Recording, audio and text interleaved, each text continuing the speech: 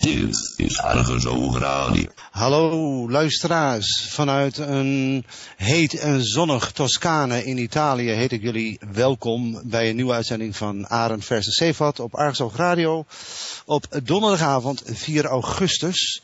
Um, dit is eigenlijk uh, even onze laatste uitzending voor de twee weken vakantie die uh, vanaf volgende week ingaan om ook onze technicus Hans Rikkerink uh, eens wat rust te gunnen. Verder wil ik nog even de gelegenheid gebruik maken om de op 2 oktober geplande Argwaandag nogmaals even voor het voetlicht te plaatsen. Waar Desiree en ik uh, ons uh, mee bezighouden om dat te organiseren. En dit is ook een uitvloeisel van um, de verschillende uitzendingen die er aan bureau jeugdzorg en alle ellende daaromheen zijn besteed. Uit die uitzendingen is voortgevloeid dat wij dus op 2 oktober een speciale dag gaan organiseren voor alle mensen die betrokken zijn bij bureau jeugdzorg, daar uh, door gedupeerd zijn, uh, ervaringsdeskundigen. En die dag staat in het teken van ontmoeting, uitwisseling, maar ook actie. Wij willen op die dag ook zeker mensen stimuleren, ouders stimuleren om uh, gezamenlijk de handen ineen te slaan en uh, ideeën te vormen uh, om, om, om tot een, een krachtenbundeling te komen en een vuist te laten zien naar een uh, criminele overheid en een crimineel justitieel apparaat en een crimineel jeugdzorgapparaat. Um, dat even vooraf. Um, verder... Ja, wil... er even bij zeggen dat iedereen zich kan opgeven via oh ja, argusoog.org. Herhaal het nog maar een keer, Desiree. argusoog.org. Oké. Okay. Nou, dan wil ik even beginnen met een uh, actualiteit die heel erg aansluit bij het thema waar we vanavond over gaan hebben. Jullie hebben trouwens inmiddels al begrepen dat Desiree, die moest ik nog even verwelkomen. Desiree is er vanavond ook bij. Hallo. Hi Arend, hi Ben. Dag luisteraars. Vanavond. Ben van der Brink is natuurlijk onze uh, uh, gast voor vanavond. Hallo Ben en welkom. Hey, goedenavond, met Ben. Juist. Um, ik wil even een, een, een artikeltje voor het voetlicht plaatsen wat ik uh, via een linkje zag. Horen Horen jullie mij? Ik ga even een, een, een artikeltje uit de Telegraaf voorlezen wat ik uh, vandaag tegenkwam uh, op uh, Klokkenluider Online onder de aankondiging, in een van de reacties onder de aankondiging van deze uitzending. En het kinderporno-netwerk op. De Amerikaanse autoriteiten hebben een nachtmerrieachtig wereldwijd online kinderporno-netwerk opgerold dat door zo'n 600 pedofielen werd gebruikt. Dat meldde het ministerie van Justitie woensdag. Inmiddels zijn 72 verdachten gearresteerd en aangeklaagd. Onder wie twee, 20 buitenlanders. Ook in Nederland zou één of meerdere mensen zijn opgepakt. 13 leden hebben al schuld bekend. Via het netwerk Dreamboard genaamd wisselden de pedofielen foto's en video's uit die toonden hoe volwassenen kinderen van 12 jaar en jonger op vaak gewelddadige wijze misbruikten. Sommige slachtoffers waren baby's. Het onderzoek procureur-generaal Eric Holder zei dat, leden, dat de leden verenigd waren door het verontrustende geloof dat seksueel misbruik van kinderen geoorloofd is en dat niet gecriminaliseerd mag worden. Hij zei dat de daden van de pedofielen voor de slachtoffers niets minder dan een nachtmerrie waren. Nou is dit, dit sluit natuurlijk fantastisch aan bij waar we nu zo meteen met Ben over gaan hebben. Want eerst wat ik hier even uit wil distilleren is, um, wat je hier in Nederland af en toe ook hoort via zo'n vereniging Martijn, dat uh, voor, voor, voor pedofielen is dat een vereniging, uh, die de laatste tijd ook erg ja, in het nieuws is geweest en ook aardig is aangepakt op allerlei fronten. Um, dat, dat het een, blijkbaar een diep inge, ingeburgerd geloof schijnt te zijn bij pedofielen dat seksueel... Hij valt wel weg. Hij valt steeds weg, ja. Het is erg lastig. Ja, daar ben ik weer, lijkt het. Uh, sorry voor de, voor de, de, de technische onderbreking. Waar ik bleef erbij uh, te willen zeggen, na het voorgelezen hebben van dat artikeltje, um, dat uh, het bij um, pedofielen blijkbaar een diep ingeburgerd geloof is dat hun handelingen, het seksueel misbruiken van kinderen, geoorloofd is. Um, en ik kan me herinneren dat er uh, niet zo lang geleden er in de Tweede Kamer nogal veel heisa was over uh, een, een, een wet waaruit zou blijken dat uh, baby's, misbruikte baby's, dat die niet verkracht zouden zijn. Omdat ze ja, er, er was een, of andere toestand uh, omheen rond de Ja. formulering van al of niet verkracht worden uh, van baby's. Ja, Arend, dat komt uit de uh, Babylonische Talmud, waarin wordt gezegd dat je met kinderen tot drie jaar alles mag uithalen wat je wil. Zeker als het goyim zijn. Oké. Okay. Nou, kijk aan. Men heeft de Talmud aan hun zijde en dat is natuurlijk hoogst discutabel. Maar goed, wij um, presenteren dit soort uitzendingen met name ook om dit soort uh, bizarre geloofsuitingen om die maar gewoon eens een, een halt toe te roepen. Omdat wij nu toch uh, in mijn beleving uh, in een tijd leven waarin er, zich, uh, waarin er zich een andere moraal aan het ontwikkelen is. Die zaken die voorheen geaccepteerd werden en geoorloofd werden en ja, niet vervolgd werden, dat die nu, nu anders beoordeeld worden. Met name wanneer, wanneer daar leed voor kwetsbaren uit voortvloeit. En seksueel misbruik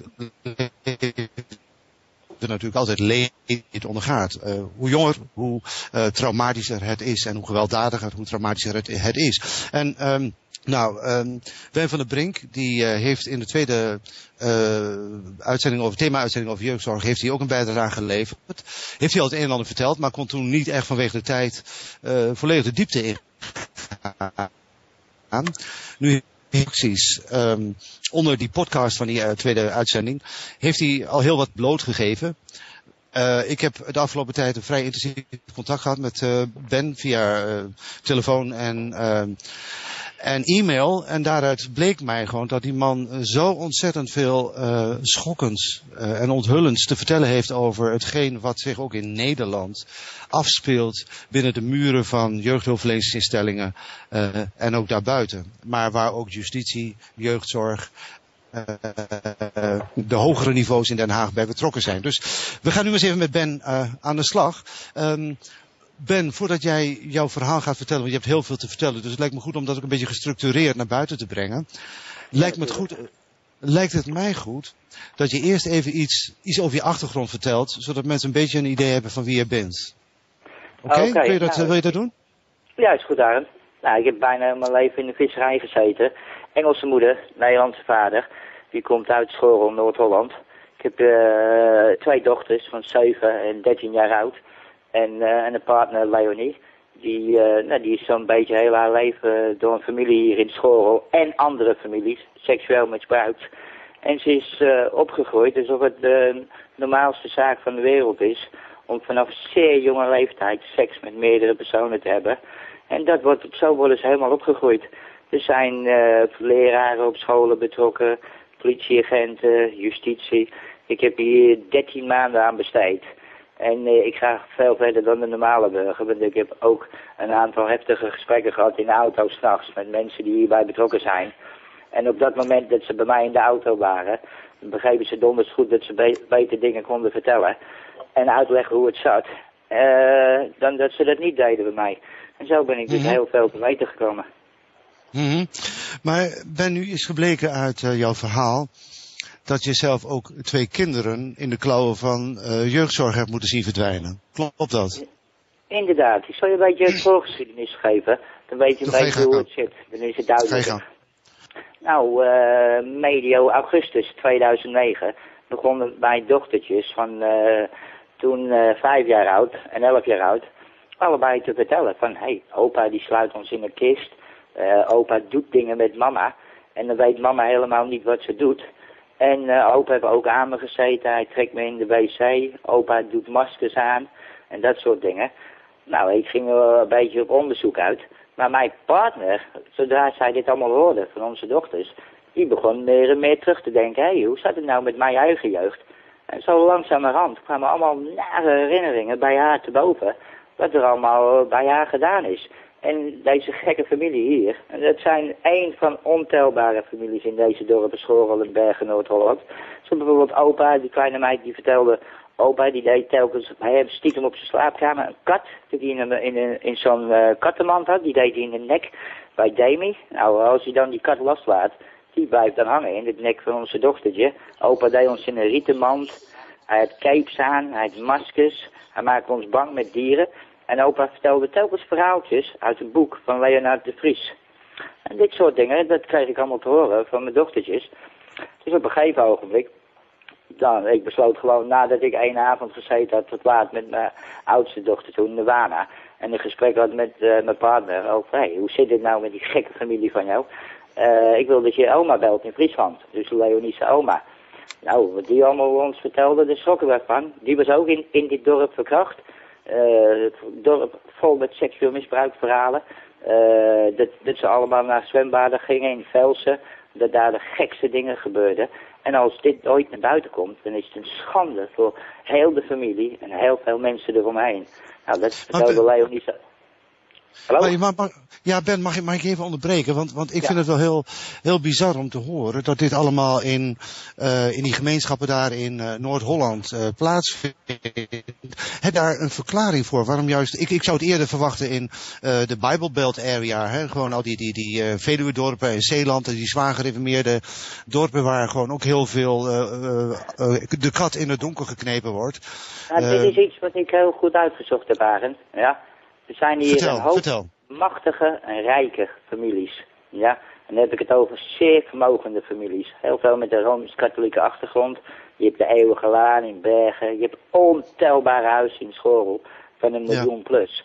En deze mensen denken dat ze elite zijn. Ja? Okay. Ze zijn er allemaal van overtuigd dat ze absoluut elite zijn. En dat ze kunnen doen met andere mensen wat ze willen dat ze doen. Ja? ja en het is, okay. het is, ik heb deze rieden wel ook gehoord. Het is inderdaad een satanisch spel. En alles is, is een lachertje voor ze en het brengt een glimlach over hun kopjes tevoorschijn. Maar kijk, het zijn gewoon beesten, want vanaf zeer jonge leeftijd wordt er gewoon bij hun eigen kinderen, en allemaal doen ze het, dat is waar ze allemaal mee aan verbonden zijn met elkaar. Allemaal brengen hun kindjes groot met misbruik, met rituelen. Ze misbruiken mekaars kinderen, alles door elkaar. En wat ze doen, ze veroorzaken voor het kind vijfde levensjaar een NPS-trauma. Dus als Mhm. er iets gebeurt, dan verdrinkt het kind het. Het, het Mhm. verstopt het weg. En mag er Mhm. nooit over praten. Kijk, en dit zijn dingen waar Robert M. precies hetzelfde mee bezig was. Met 83 kindjes van het kinderdagverblijf. En dat Ja. er niks gebeurde in het huis van die, van die, die, die Albert Drent, waar die slaapfeestjes gehouden werden. Dat is gewoon één bullshit verhaal. Ja, dat is de grootste doofpot pak nat. En die Misha Kat, die zit gewoon 100% goed met die korver. 83 ouders van 83 misbruikte kinderen hebben allemaal dezelfde advocaat. Nou, dat, dat, dat zit voor geen meter goed. Maar die Drent, die kan natuurlijk alle mensen noemen eromheen. En daarbij bedoel ik hoge pieten van justitie hoor. Want dat, dat Mm. kinderrechters en gewone rechters hierin betrokken zijn, dat, dat, dat weet ik al lang 100% klaar en duidelijk. En eh, die Peter de Vries, die begon een beetje met die, met die rechte stolk. Dat is een zaak waar ik ook wat van gehoord heb. Maar hij begon over iets, maar de, de echte gruwelijke dingen, dat wordt weer onthouden. Daar gaan ze niet verder op in. Dus hij laat wel blijken stolk, laat een, een kinderverkrachter zijn gang gaan. En in Ja. de tijd dat hij zeg maar op vrije voeten is, door die rechte stolk, vermoordt die mafkees meerdere kinderen. Ja? Dus Ja, eigenlijk is die rechter daar sowieso mee de schuldig aan. Maar ja, we praten nu over volgens mij een dode rechter. Ja? Er lopen wel Oké, 20, maar- 30 van die rechters rond. Oké Ben, we, we gaan hier straks nog verder uitgebreid op in, ook op die, die, die, die ritualistische achtergrond met die maskers en zo. Ik, jij weet daar ontzettend veel van, je hebt je daar ongelooflijk in verdiept, dus ik vind ook dat je alle ruimte moet hebben om dat gewoon eens uitgebreid voor het voetlicht te plaatsen. Maar ik wil nog even terug naar je eigen verhaal, want um, je bent er ergens in blijven hangen. Je, je, je had het over die gemeenschappen daar in Noord-Holland, die, uh, waarin de elite, de rijkere elite, dit soort zaken uitvreten met elkaar en met hun eigen kinderen met de kinderen van anderen. Um, maar hoe is het zo gekomen dat, dat jij met, met jeugdzorg in aanraking kwam en dat jouw kinderen uit huis geplaatst werden? Oké, uh, nou, na, nadat mijn dochters mij dat allemaal vertelden, dat heb ik toen die tijd inderdaad allemaal opgenomen, al die gesprekken, alles wat ze, wat ze zeiden en alles wat mevrouw uh, verteld heeft, dat heb ik allemaal opgenomen. Dat krijg jij in de loop van de week toegestuurd allemaal. Nou, daarna ben ik verhaal gaan halen bij mijn schoonvader. Dus ik ben naar het centrum van dit klein dorpje gegaan. En uh, ik belde verschillende keren aan. En ik zei, ik wil met jou praten. Ik weet niet of ik noem, namen hierin mag noemen, Arend. Ik weet niet hoe het zit met jouw programma. En die... uh, ja, nou ja, kijk, noem initialen. Noem maar geen namen, noem maar gewoon initialen. Oké, okay, maar in ieder geval een, een, een bekende horecafamilie hier. Dus mijn schoonvader. Die deed niet open. Dus uh, ik, ik, bleef een beetje op het parkeerterreintje van zijn appartement rondhangen. ik denk, ja, ik ga toch een pittig woordje met je bespreken hierover. Want uh, dit is niet fucking normaal wat ik net allemaal net van mijn dochtertjes gehoord heb. Weet je wat er gebeurde, Arend? Na een kwartier, ja, ja verzamelden allemaal politieauto's om de hoek hier. Ja, vlakbij de supermarkt. Elf politieauto's. Ja, gezamenlijk kwamen ze allemaal als een speer het parkeerterrein op. Dus elf politieauto's, ja. En de politieagenten zeiden, sommigen kwamen zelfs uit Beverwijk, 35 kilometer hier vandaan. Die werden opgeroepen om hier naartoe te speren, terwijl ze op de A9 waren. Nou, ik kreeg een hele rond, rondje politieauto's om mij heen. En meerdere renden op mij af. En ik moest even mijn zakken legen en laten zien dat ik geen vuurwapen bij me had. Ik zeg, kijk, ik heb alleen drie foto's. En het zijn zeer vreemde foto's van mijn partner, dus hij, zijn dochter, in uh, wat ik noem seksuele handelingen met haar eigen broer. Ja, ik zeg, en die mafkees daar, die mijn dochtertjes nu misbruikt. Ja, is dat een normale gang van zaken? Ik wil daar even een pittig woordje met hem over verwisselen. Nee, ze zeiden, nee, dat is niet normaal, Ben. Je hebt geen vuurwapens. Dus uh, drie van hun gingen naar boven en ik moest oprotten. Ja, dus ik wandelde zo op, de, op zijn dode gemaakt, wandelde ik weg. En in de loop van de week, ik hoorde niks over. Ik hoor meer en meer van mijn dochters. En op een gegeven ogenblik, ik word gebeld door twee politieagenten. Of ik, nou, ik had, sorry, ik had in de, in de tussentijd had ik bureau jeugdzorg gebeld. En ik zei, ik, heb een, een, ik, ik, ik belde bureau jeugdzorg. Nou, dat was de grootste fucking fout die ik in mijn hele leven gemaakt had. Ja, en toen begon de shit pas. En uh, ik zei tegen bureau jeugdzorg, ja, ik heb een uh, ernstig vermoeden. Ik weet het wel zeker. Mijn dochtertjes zijn uh, misbruikt. Ja, door mijn schoonvader en enkele mensen om hem heen. En ik wil dat bureau jeugdzorg mijn dochtertjes uh, onderzoekt. En uitzoekt hoe dit nu precies ziet. Nou, ik heb ook verschillende keren naar de politie gebeld. In, in Schorrel en Heergewaard. Ik probeerde twee keer aangifte te doen. Dat lukte niet. Ja, ik weet niet meer precies de reden uh, toen die tijd waarom dat was. Nou, een, paar dagen later uh, ging ik naar een school toe hier in onze dorp. Ja, een school dat tot zijn nek betrokken zit al jarenlang in het misbruik van kinderen en het in doofpot houden. Ja, met een sterke Rooms-Katholieke achtergrond, deze school. Ja. En ik heb het over een bekende school midden in, het centrum van Schorel. En de vier mensen waar ik twee jaar geleden zei die vier die zijn erbij bij betrokken. Dus de directrice, die net een jaar geleden aangesteld was. Al die vier die zijn nu opeens verdwenen van die school. Die werken er alle vier nu niet meer. Ja? Mag ik, mag hier, ben, ben, mag ik hier even op inspringen opnieuw? Want um, kun je daar wat meer helderheid en duidelijkheid over geven hoe die school bij uh, pedoseksuele activiteiten betrokken is? Ja, nou ten eerste, onze jongste dochter, Davy, die vertelde een paar keer dat ze naakt in de klas moet zitten. Ik zeg, naakt in de klas zitten? Wij geloofden het niet, Arend, toen die tijd. Ja, nee, ja nu weten we, we geloofden het niet. Kijk, je meisje zegt dat. En, uh, en ik geloofde het niet. En ze zei, op school, pak die en die meid telkens, die pakt me telkens, papa. Nou, mijn, mijn dochtertje was vijf. En die, wie ze aangaf, die haar pakte, waren oudere jongens van elf jaar oud. In klasse, die, in de klas van mijn, mijn oudste dochter. En die dus ook elf is. En die pakte telkens de Demi, die vijf was. Nou, en uh, ik begon door foto's heen te kijken van, uh, van onze dochter die gemaakt waren. Hier op een psychiatrische instelling, dat heet Schorenwoud. Ja? En Daar, daar zijn een, een hoop crazy people zijn daar in die instelling. Maar de, de school, de Tuin de in school, die gaat al jarenlang regelmatig met de kinderen uit de klas daar naar die psychiatrische zorginstelling Schorenwoud. En dan gaat ze naar een soort kinderboerderijtje. Ja? Wat ik toen niet wist, en wat ik nu wel weet, is daar maakten ze kinderen bang.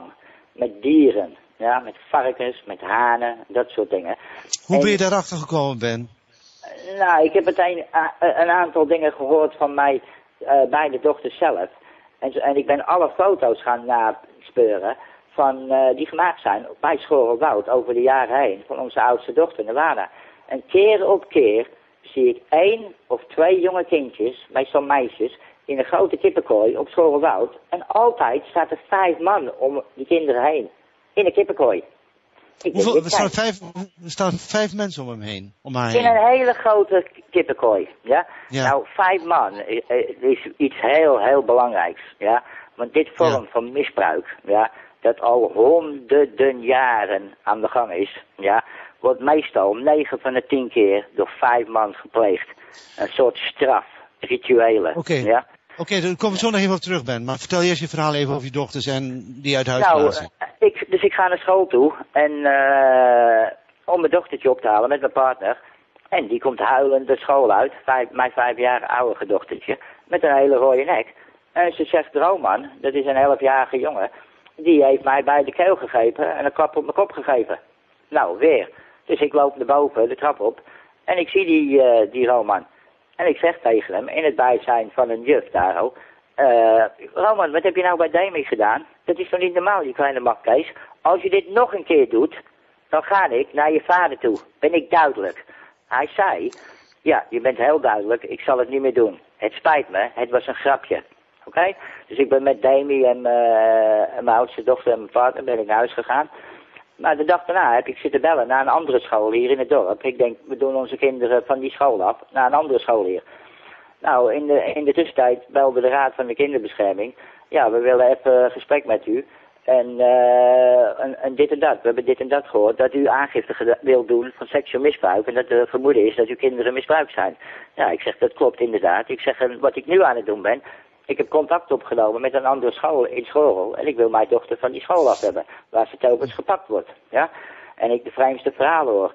Dus uh, de Tiesens van de Raad. Die heb ik vijf dagen achter elkaar gebeld. En gezegd. Ik hou mijn dochters vandaag van school af. Want ze gaan maandag naar een nieuwe school. Na acht dagen deed de schooljuf aangifte tegen mij dat ik Roman, een elfjarige jongetje, bedreigd had. Ja? Tegelijkertijd deed mijn schoonvader, waar ik een maand, vijf weken eerder geweest was, die deed aangifte van uh, bedreiging. Ja? Dat ik hem een aantal sms'en gestuurd had die bedreigend waren.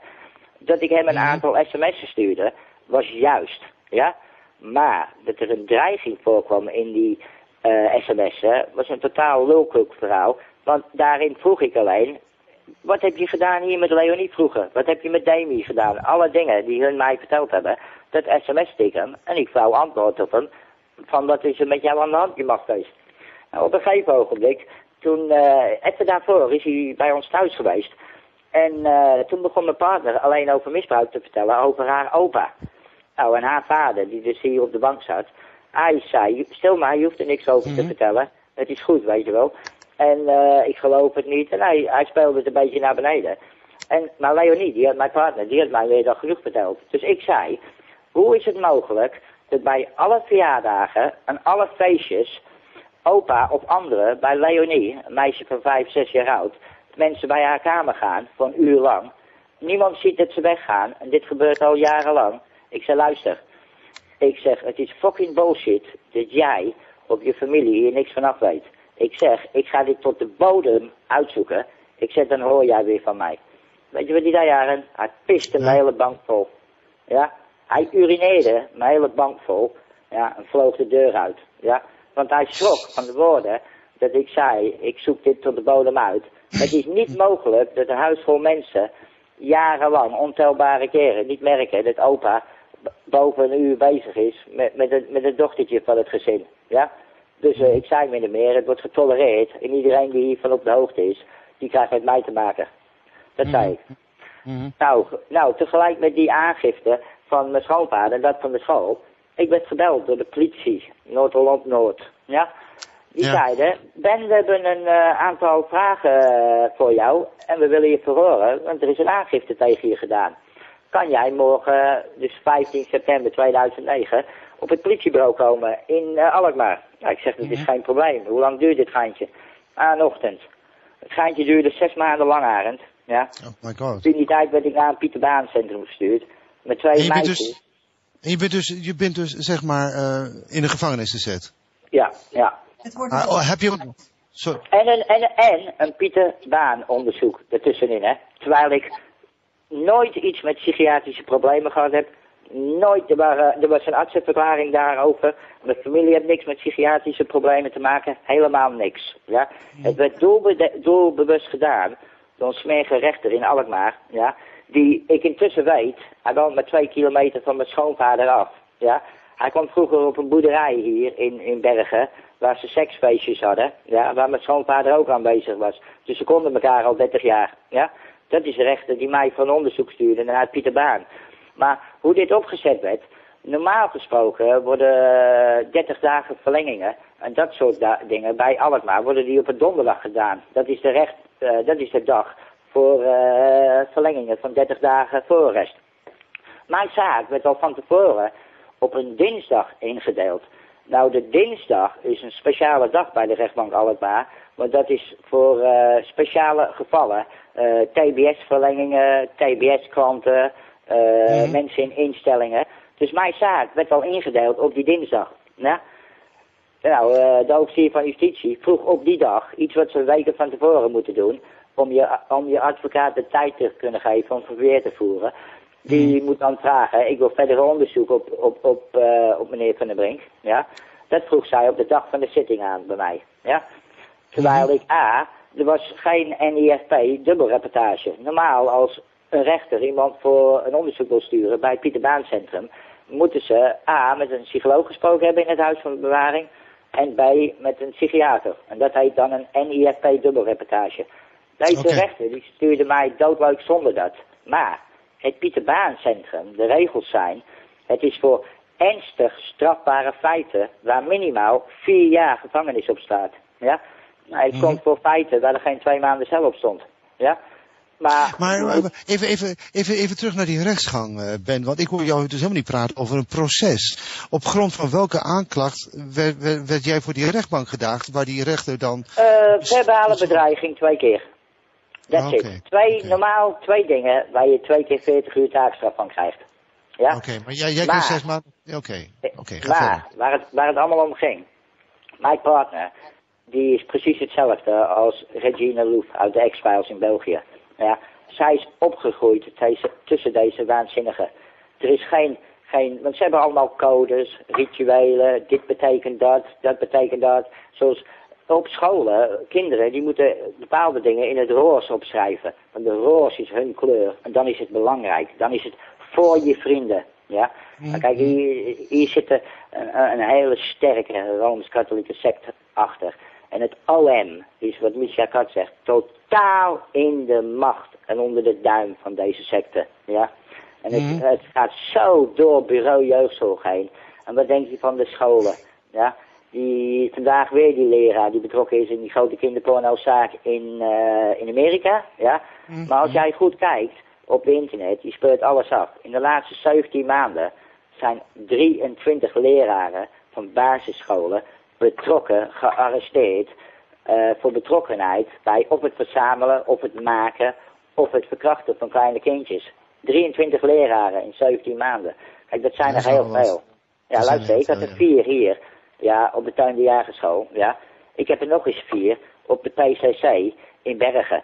Kijk, en ik ben iemand, ik volg ze 24 uur per dag. Ja. Stiekem luister ik dingen af. Want, want ik wil maar één ding. Ja. Het misbruik moet stoppen aan die kinderen. Het is niet normaal om jonge kindjes in kisten op te sluiten, uh, bang te maken, opeens te pakken met een masker op en een cape. Ja, want dat is wat ze doen. Doelbewust een, een trauma veroorzaken. dat het kindje verdrinkt. En wat je dan krijgt. Nou, ik werd, in die tijd dat ik vastgezat, moest ik drie maanden wachten op een onderzoek bij Pieter Baan. En het Pieter Baan zeiden de gedragsdeskundigen daar, hoe kom jij hier in godsnaam terecht? Ja? Dus ik stelde voor, ik zit er zeven weken, ik kom er niet weg. Ik schilder wel alles. Ja? Dus voor het eerst in de geschiedenis van de Pieter Baan was mijn deur de hele dag open. En ik, ik schilderde zelfs in, in, in, in de veiligheidskoepel. Ik heb de hele Pieter Baan één afdeling geschilderd. En ze waren me er dankbaar voor. En ik kreeg drie keer de loon dat een andere kreeg. Maar deze vieze smerige rechter, die stuurde mij naar een afdeling. Ja, waar ik naast mij een kinderverkrachter had. Iemand die kindjes doodgemaakt had. Ja, dus hou in rekening. Mijn kinderen zijn seksueel misbruikt. Ja. En ik word doodleuk naast een, een echte zwaar gestoorde pedofiel gezet. Ja? Ja, ja, Dus de kansen dat ik zijn kop eraf sloeg waren heel hoog. Ja? Nou, bureau jeugdzorgvoogd, die deed hetzelfde, precies een jaar later. Nou, daar kom ik straks wel op. Ja? In ieder geval, maar wacht even, wacht even, Ben, wacht even, ik geloof dat Desiree net iets wilde zeggen. Ja, wat ik, wat ik herken hier is uh, trauma-based mind control. Dus dat kinderen vanaf heel jonge leeftijd worden getraumatiseerd, zodat ze gespleten persoonlijkheden krijgen. En dan maak je dus een soort robotten voor in de latere maatschappij, die dingen kunnen doen zoals onlangs in Noorwegen is gebeurd. Dat is... Bingo, dat is het deze 100%. En uh, wat, wat er gebeurt is, mijn partner, die al dit in haar jeugd meegemaakt heeft, in de tijd dat ik vast zat, dat zij herhaaldelijk ja, seksueel misbruik in onze eigen huis. Ja, door mijn schoonvader, die al mijn dochters uh, misbruikt had, en enkele vrienden van hem. Want wat ze doen, als mijn partner thuis kwam alleen, onze dochters werden uit huis geplaatst. Mijn partner die kwam dan de garage in, dan stond er een mafkees met een, met een plastic masker voor zijn smoel en een zwarte cape. Vaak met zwart haar. Precies hetzelfde als 30 jaar geleden in haar jeugd. Die pakt er opeens in de nek. Nou, wat het dan doet bij mijn partner, ze valt bijna flauw ervan. Ja? En soms urineert ze zelf in de broek. Want het brengt terug de herinneringen naar vroeger. Ja? ja. Dan is ze een paar uur totaal onderdanig en kunnen ze doen wat ze willen met haar. Ja? En dan meestal vijf mannen bij. Na die twee uur, dan zeggen ze, ga jij maar lekker slapen. Als ze dan wakker wordt, is het allemaal verdrongen. Praat ze er nooit over, alsof het nooit gebeurd is. Ja? Dat is waarom ze die NPS-trauma veroorzaken. Ja? En die Robert M., die was het precies hetzelfde aan het doen bij die jonge kinderen op die kinderdagverblijven. Het moet gebeuren voor het kind vijfde levensjaar om het erin te hebben. Ja? Doelbewust is het gedaan. En dan later in de leeftijd, kijk, eh, het heeft alleen als doel dat ze later in hun leven uh, luisteren. En doen wat de mannen willen. Kijk maar verder in het programma kunnen we doorgaan over de Balkenelenders, ja, de Wouter Bos, de Mark ja. En uh, als je echt diep zou spitten, dan zou je vinden dat er dit soort dingen met hun gebeurd zijn in hun jeugd. En daarom zijn ze nu volledig in de macht. Ja? Maar Ben, eh, ben, laat nog even, even, even ingaan op, op, op die, eh, nou, een paar details van wat jij nu net zo zegt. Hè? Gewoon, uh, je refereerde net bij die school aan uh, die angst die bij die kinderen wordt teweeggebracht uh, met, behulp, door, met behulp van dieren. Ja, en vijf mannen heen. Constant. Precies. Dus, dus bijvoorbeeld wat is, wat is de zin, Wat is de zin van die vijf mannen? Het, het, het, het, het wekt gelijk die angst, die zenuwachtigheid op bij een persoon die dit al eerder gehad heeft. Ja? Want vaak tijdens het misbruik worden ze op een tafel gelegd, vaak vastgebonden. En altijd vijf man om hem heen. Ja? Vaak hebben ze gewoon vijf man met maskers op, als het kind jong is. Ja? Want dan zijn ze de, de trauma's aan het veroorzaken. Maar als de kind later volwassen wordt, dan is het geen eens nodig. Dan kan alleen één van hun de, een masker gebruiken dan tijdens het misbruik. Het kind of de slachtoffer, die knijpt gewoon zijn ogen dicht. Want het is zo allemaal eng. Ze zijn helemaal geleerd om het helemaal gevoel uit te zetten. Ja, en het over hun heen laten gaan. En daarna totaal verdringen. Je mag er niet over denken. En dat doen ze ook niet. Het is eng. Dus ze gaan weg met hun gedachten. Het is een, een soort veiligheidsclausule in de hersenen van een kindje. Dat als er geen ontsnapping is, en je zet helemaal met je rug tegen de muur enge dingen. Kijk, in een kist opgesloten worden als jonge gietje. Ja, hoe, hoe eng is dat? Ja, mhm. dat soort dingen doen deze mensen alsof het dood normaal is. Ja, en ze doen het wekelijks. Constant doen ze dit. En constant, de familie, als een van die jonge meisjes uit de wc kwam of zo, dan boem, dan sprong opa weer. Altijd die schrik erin houden. De schrik moet erin blijven. En wat je dan maakt later is uh, zenuwachtige, schrikachtige slachtoffers waar je alles mee kan doen. En zodra jij later in het leven vijf man om die uh, persoon hebt, gelijk doet het herinneren aan de dingen die vroeger gebeurd zijn. En dan gaan ze het verdringen, dan gaan ze er niet over praten. Maar mhm. er zijn manieren om ze aan het praten te krijgen. Wat mijn dochters verteld hebben, dat ga jij de komende week helemaal volledig in je, in je post krijgen.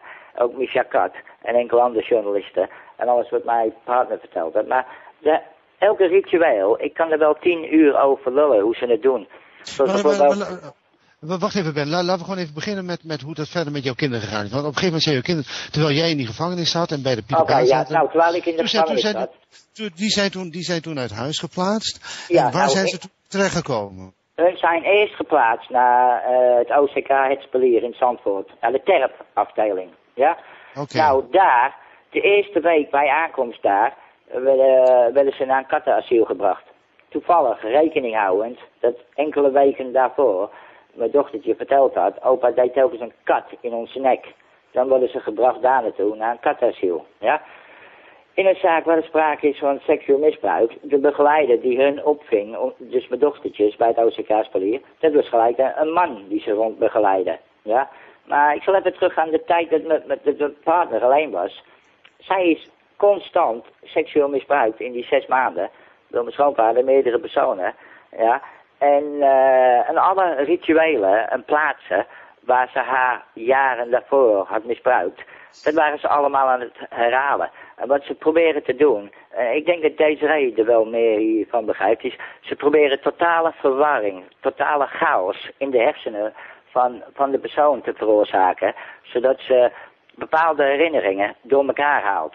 Ja? En het mhm. was op het begin, op het begin was het een hele klus om het allemaal uit elkaar te halen. En dingen die zij mij vertelde, op een gegeven ogenblik moest ik naar panden gaan. En wat zij mij beschreven had, dan ging ik soms panden binnen. Ik ben ook in panden geweest, s'avonds, ja, uh, terwijl niemand er was. Ja, dat ik daar gewoon naar binnen gegaan ben. Alleen om te kijken, staat dat zo? Is dat zo? Is dat zo? Is dat zo? Elke keer 100% Arend. Ja? Dus ik weet dat alles dat ze mij vertelde 100% klopte, want ik checkte het. Ja? Nou, daarna kon ik natuurlijk, toen ik vrij werd, uh, toen ik vrij kwam, na zes maanden, uit het Pieter Baan onderzoek kwam geen advies. Ja, de, 16, de 16 gedragsdeskundigen zeiden, 90% van wat de heer Van den Brink verteld heeft, achten wij aannemelijk. Alleen dat wat hij over de school zei, daar hebben wij wat meer moeite mee om, uh, om het te geloven. En ons advies is, is dat je contact opneemt met journalisten. Dus persoonlijk kan ik niks kwaad zeggen over de gedragsdeskundige bij Pieter Baan. Maar mhm.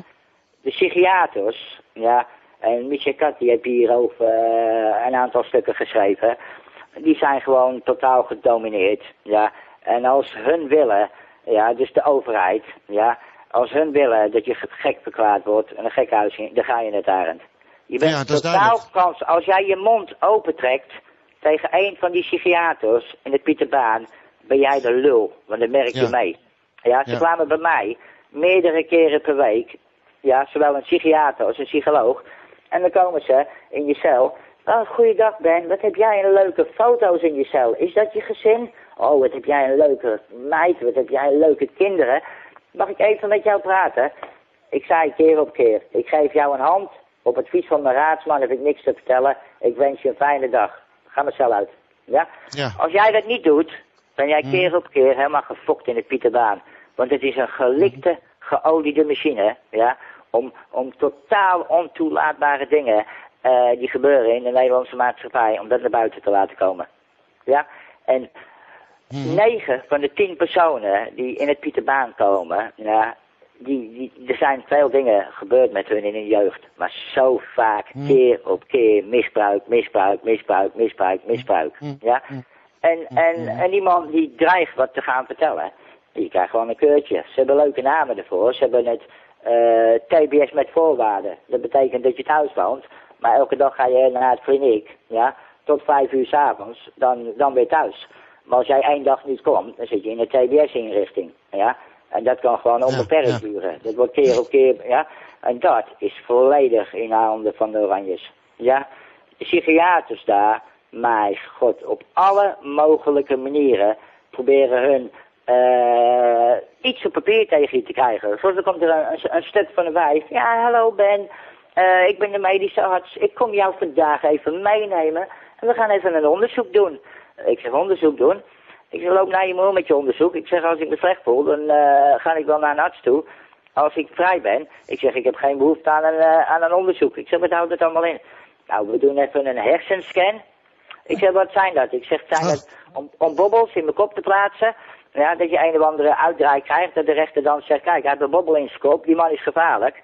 TBS. Dus ik zeg, ik werk er niet aan mee, mevrouw, fijne dag. Ik zeg, maar kom het niet nog een keer vragen. Nou, en dat soort dingen krijg jij. Als jij meegaat, je bent al de lul. Ja? Want, want het is mhm, zo makkelijk mhm. voor hun. Eén psychiater, die, die zet een handtekening. Ik heb een gesprek met meneer gehad. Meneer komt mij heel paranoid over. Gevaar voor de maatschappij. Advies TBS. Het zijn allemaal mhm. collega's met, van elkaar. Als één psychiater dat zegt, En, en de volgende dag komt er een psycholoog bij je. Die geeft je een hand. Hallo, ik ben die. En je zegt niks, ga weg. Die psycholoog zal wel ondertekenen en onderkennen wat die psychiater over jou verteld heeft. Dan ben je toch kansloos? Ja, en dit, dat is gewoon ja, een... Ja, dat is duidelijk. Je bent kansloos, ja. Je bent kansloos. De enige mhm. manier om, om het Pieterbaan te overleven, ja, is als ze aan je deur komen. De, de, de gedragsdeskundigen waren, naar mijn mening, hele normale mensen, ja. En ik, ik spreek niet voor anderen, mhm. ik werd daar goed behandeld. Maar ze waren normaal met mij, ja. Ik werd ook niet gezien als uh, iemand gevaarlijk of iemand gek. Uh, en juist s'avonds, als er bijvoorbeeld één vrouwelijke begeleiding was. Want ze laten je expres tot half tien je cel uit s'avonds. In de hoop dat, er veel meer, dat je het veel meer uh, laat zien. Dat ze dingen over je gedrag kunnen zeggen natuurlijk. Kijk, als jij de hele dag in die mhm. cel bent. Heel veel Marokkaanse jongeren, en ik geef ze groot gelijk, want ze zijn niet zo gek. Die, die sluiten zich de hele dag op in een cel komen geen eens de cel uit, alleen om een eten te halen. Dat zeven weken lang. Want dan kunnen er ook niks over hun gezegd worden. Ja? Want maar Ben, ben even, even, even, even, even, terug van het Pieter Baan Centrum. Het is natuurlijk heel boeiend wat je daarover te vertellen hebt. En ik denk dat je daar ook wel twee uur over uh, vol Ja, ik wil er tien uur over lullen, ja. Uh, wat zeg je? Ik kan er wel tien uur over lullen wat ik daarom nog gezien heb. Dat, dat, bedoel ik, bedoel ik, dat bedoel ik. Want je hebt, je hebt, nou, je hebt aardig wat meegemaakt in de loop der tijd, heb ik oh, begrepen. Ik heb, stiekem shit, ik heb stiekem shit gelezen, dat ik uit de laars, dan ging ik in de koepel. Ja, en er was er iemand, nou, zei een van die begeleiders, ik ga partij halen ben. Nou, ik dacht mooi, en dan zat ik of in die computer of in die laars dingen te lezen. Hij god, wat is shit die ik gelezen heb, dat wil jij niet weten. Ja, en dan een hele speciale afdeling boven. Nou, wat er daar gebeurt, om de zes uur krijg je een spuit in je flikker. En voor de rest weet je er weinig van hoor, Arend. Kijk, dat soort dingen gebeuren in de Pieterbaan, hè. Maar nogmaals, de gedragsdeskundigen waren met mij heel redelijk. Heel redelijk. Oké, maar Ben, ik wil even terug, ik wil even terug naar jou. Ja? Oh, valt hij weer af. Ja, wat je, wat jij beschrijft is uh, in iedere psychiatrische inrichting voor iederegene die daar is opgesloten gebruikelijk, uh, Ben. Je wordt volgespoten als je niet je pillen wil nemen. En dan, uh, als je brutaal bent, dan stoppen, je ze, stoppen ze je in de isoleer. Ja, ja, ze hebben een hele... Ik heb daar een paar diepgaande gesprekken gehad met, met wat ik noem gewoon goede gozers. In zijn jeugd was hij wild, een bepaalde. En op een gegeven ogenblik, op 19-jarige leeftijd, heeft hij in een, in een vechtpartij iemand neergestoken. En daar kreeg hij TBS voor. Als die jongen gewoon gezegd had in de rechtbank, ik werk niet mee met TBS, had hij negen jaar gezeten, was hij al vijf jaar geleden thuis geweest. Omdat hij meewerkte met het TBS, zit hij intussen al 16 jaar. Ja? Als hun zeggen, je moet meewerken, dat betekent dat één keer per week iemand bij je deur komt, een medisch arts. Je moet je, je arm blootmaken en je krijgt een gedwongen medicatie in je arm. Ja? Als jij het op dat moment weigert, dan krijg je binnen 10 minuten zes man in je cel. Die steken die naald dan ook in je. Dus ja, maar ben, ben, en ik wil, wil toch even terug naar, naar het, het, het, het, eh, thema waar het vanavond dus inderdaad eigenlijk ook een beetje over gaat. Over dat hele misbruik binnen de jeugdzorginstellingen. Um, jou, jou, terwijl jij dus in het Pieterbaancentrum zat en in die gevangenis, zijn jouw kinderen uit huis geplaatst. In ja. het eerste instantie in het OCK Spalier in, in Zandvoort. Maar nu, nu ben jij uh, blijkbaar... Uh, uh, ook daar op onderzoek gegaan en heb daar ook verschillende dingen ontdekt. Kun je daar eens iets over vertellen, over hoe daar met de kinderen werd omgegaan? Ja, oké. Okay, ik zal je eens vertellen over de, de corrupte aandeel van de kinderrechter. Ja, want in de tussentijd okay. heb ik, uh, je weet dat ik een aantal dossiers heb van de rechtbank, ook uh, per ongeluk opgestuurd naar mij. En ik heb natuurlijk, als ik ga zoeken, Arend, dan zoek ik goed. Ik heb acht dossiers voor mijn neus, waar alle zittingen behandeld zijn door kinderrechter W.C. Oosterbroek. Ja, die een hele sterke kerkelijke achtergrond heeft. Zij heeft alle zittingen behandeld van alle dossiers. Ja. Geen enkele heeft deze dossiers onder handen gekregen.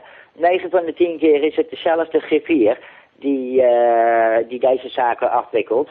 Als ze faxen ontvangt van bureau jeugdzorgmedewerkers, dan wel de raad, dan wordt het naar haar naam gestuurd, uh, Nancy. En dan noemen ze niet Saf Jacobs, dan zetten ze alleen Nancy Jacobs. Ja? Maar de griffiers naam is N. Saf Jacobs. En dan onder stukken, alle stukken staat het anders. En speciale dingen worden onder die andere naam van haar toegestuurd. Ja? Zij doktert het dossier mooi. En wat er in ons geval gebeurde, 23 september deed uh, de kinderrechten uitspraak. kinderen onder OTS voor een jaar geplaatst. Ik werd erheen gebracht in een gevangenisbus. Mijn partner die kwam er zelf naartoe. Die rechter die deed die uitspraak en gaf die beschikking. Maar onder voorbehoud dat bureau jeugdzorg een geldig indicatiebesluit zou indienen voor uh, 2 oktober, zoiets. Mm. De indicatiebesluit werd pas ingediend in december. Dus de hele uithuisplaatsing was al vervallen in de maand oktober. Ja? Want als een kinderrechter een, een bevel geeft tot uithuisplaatsing zonder uh, geldig indicatiebewijs, dan mag dat maar voor de duur van vier weken. Ja? Mhm. Dan moet die geldige indicatiebesluit zijn. Nou, als hij dan vijf weken te laat komt, eigenlijk de dag daarna, moet je dat weten en kan je gewoon je kinderen ophalen. Ja? Mhm. Maar dat, in ieder geval, zo dekte ze dicht. Een van de zittingen uh, met deze kinderrechten was beneden in de cellencomplex. Ja, wat al zeer verdacht was. Uh, een andere zitting was in een klein advocatenkantoortje, ja, wat ook weer verdacht was. Toen ik het vroeg aan enkele medewerkers bij de rechtbank, zeiden ze, nee, inderdaad, dat klopt niet. Dat is een beetje vreemd, inderdaad. Ja?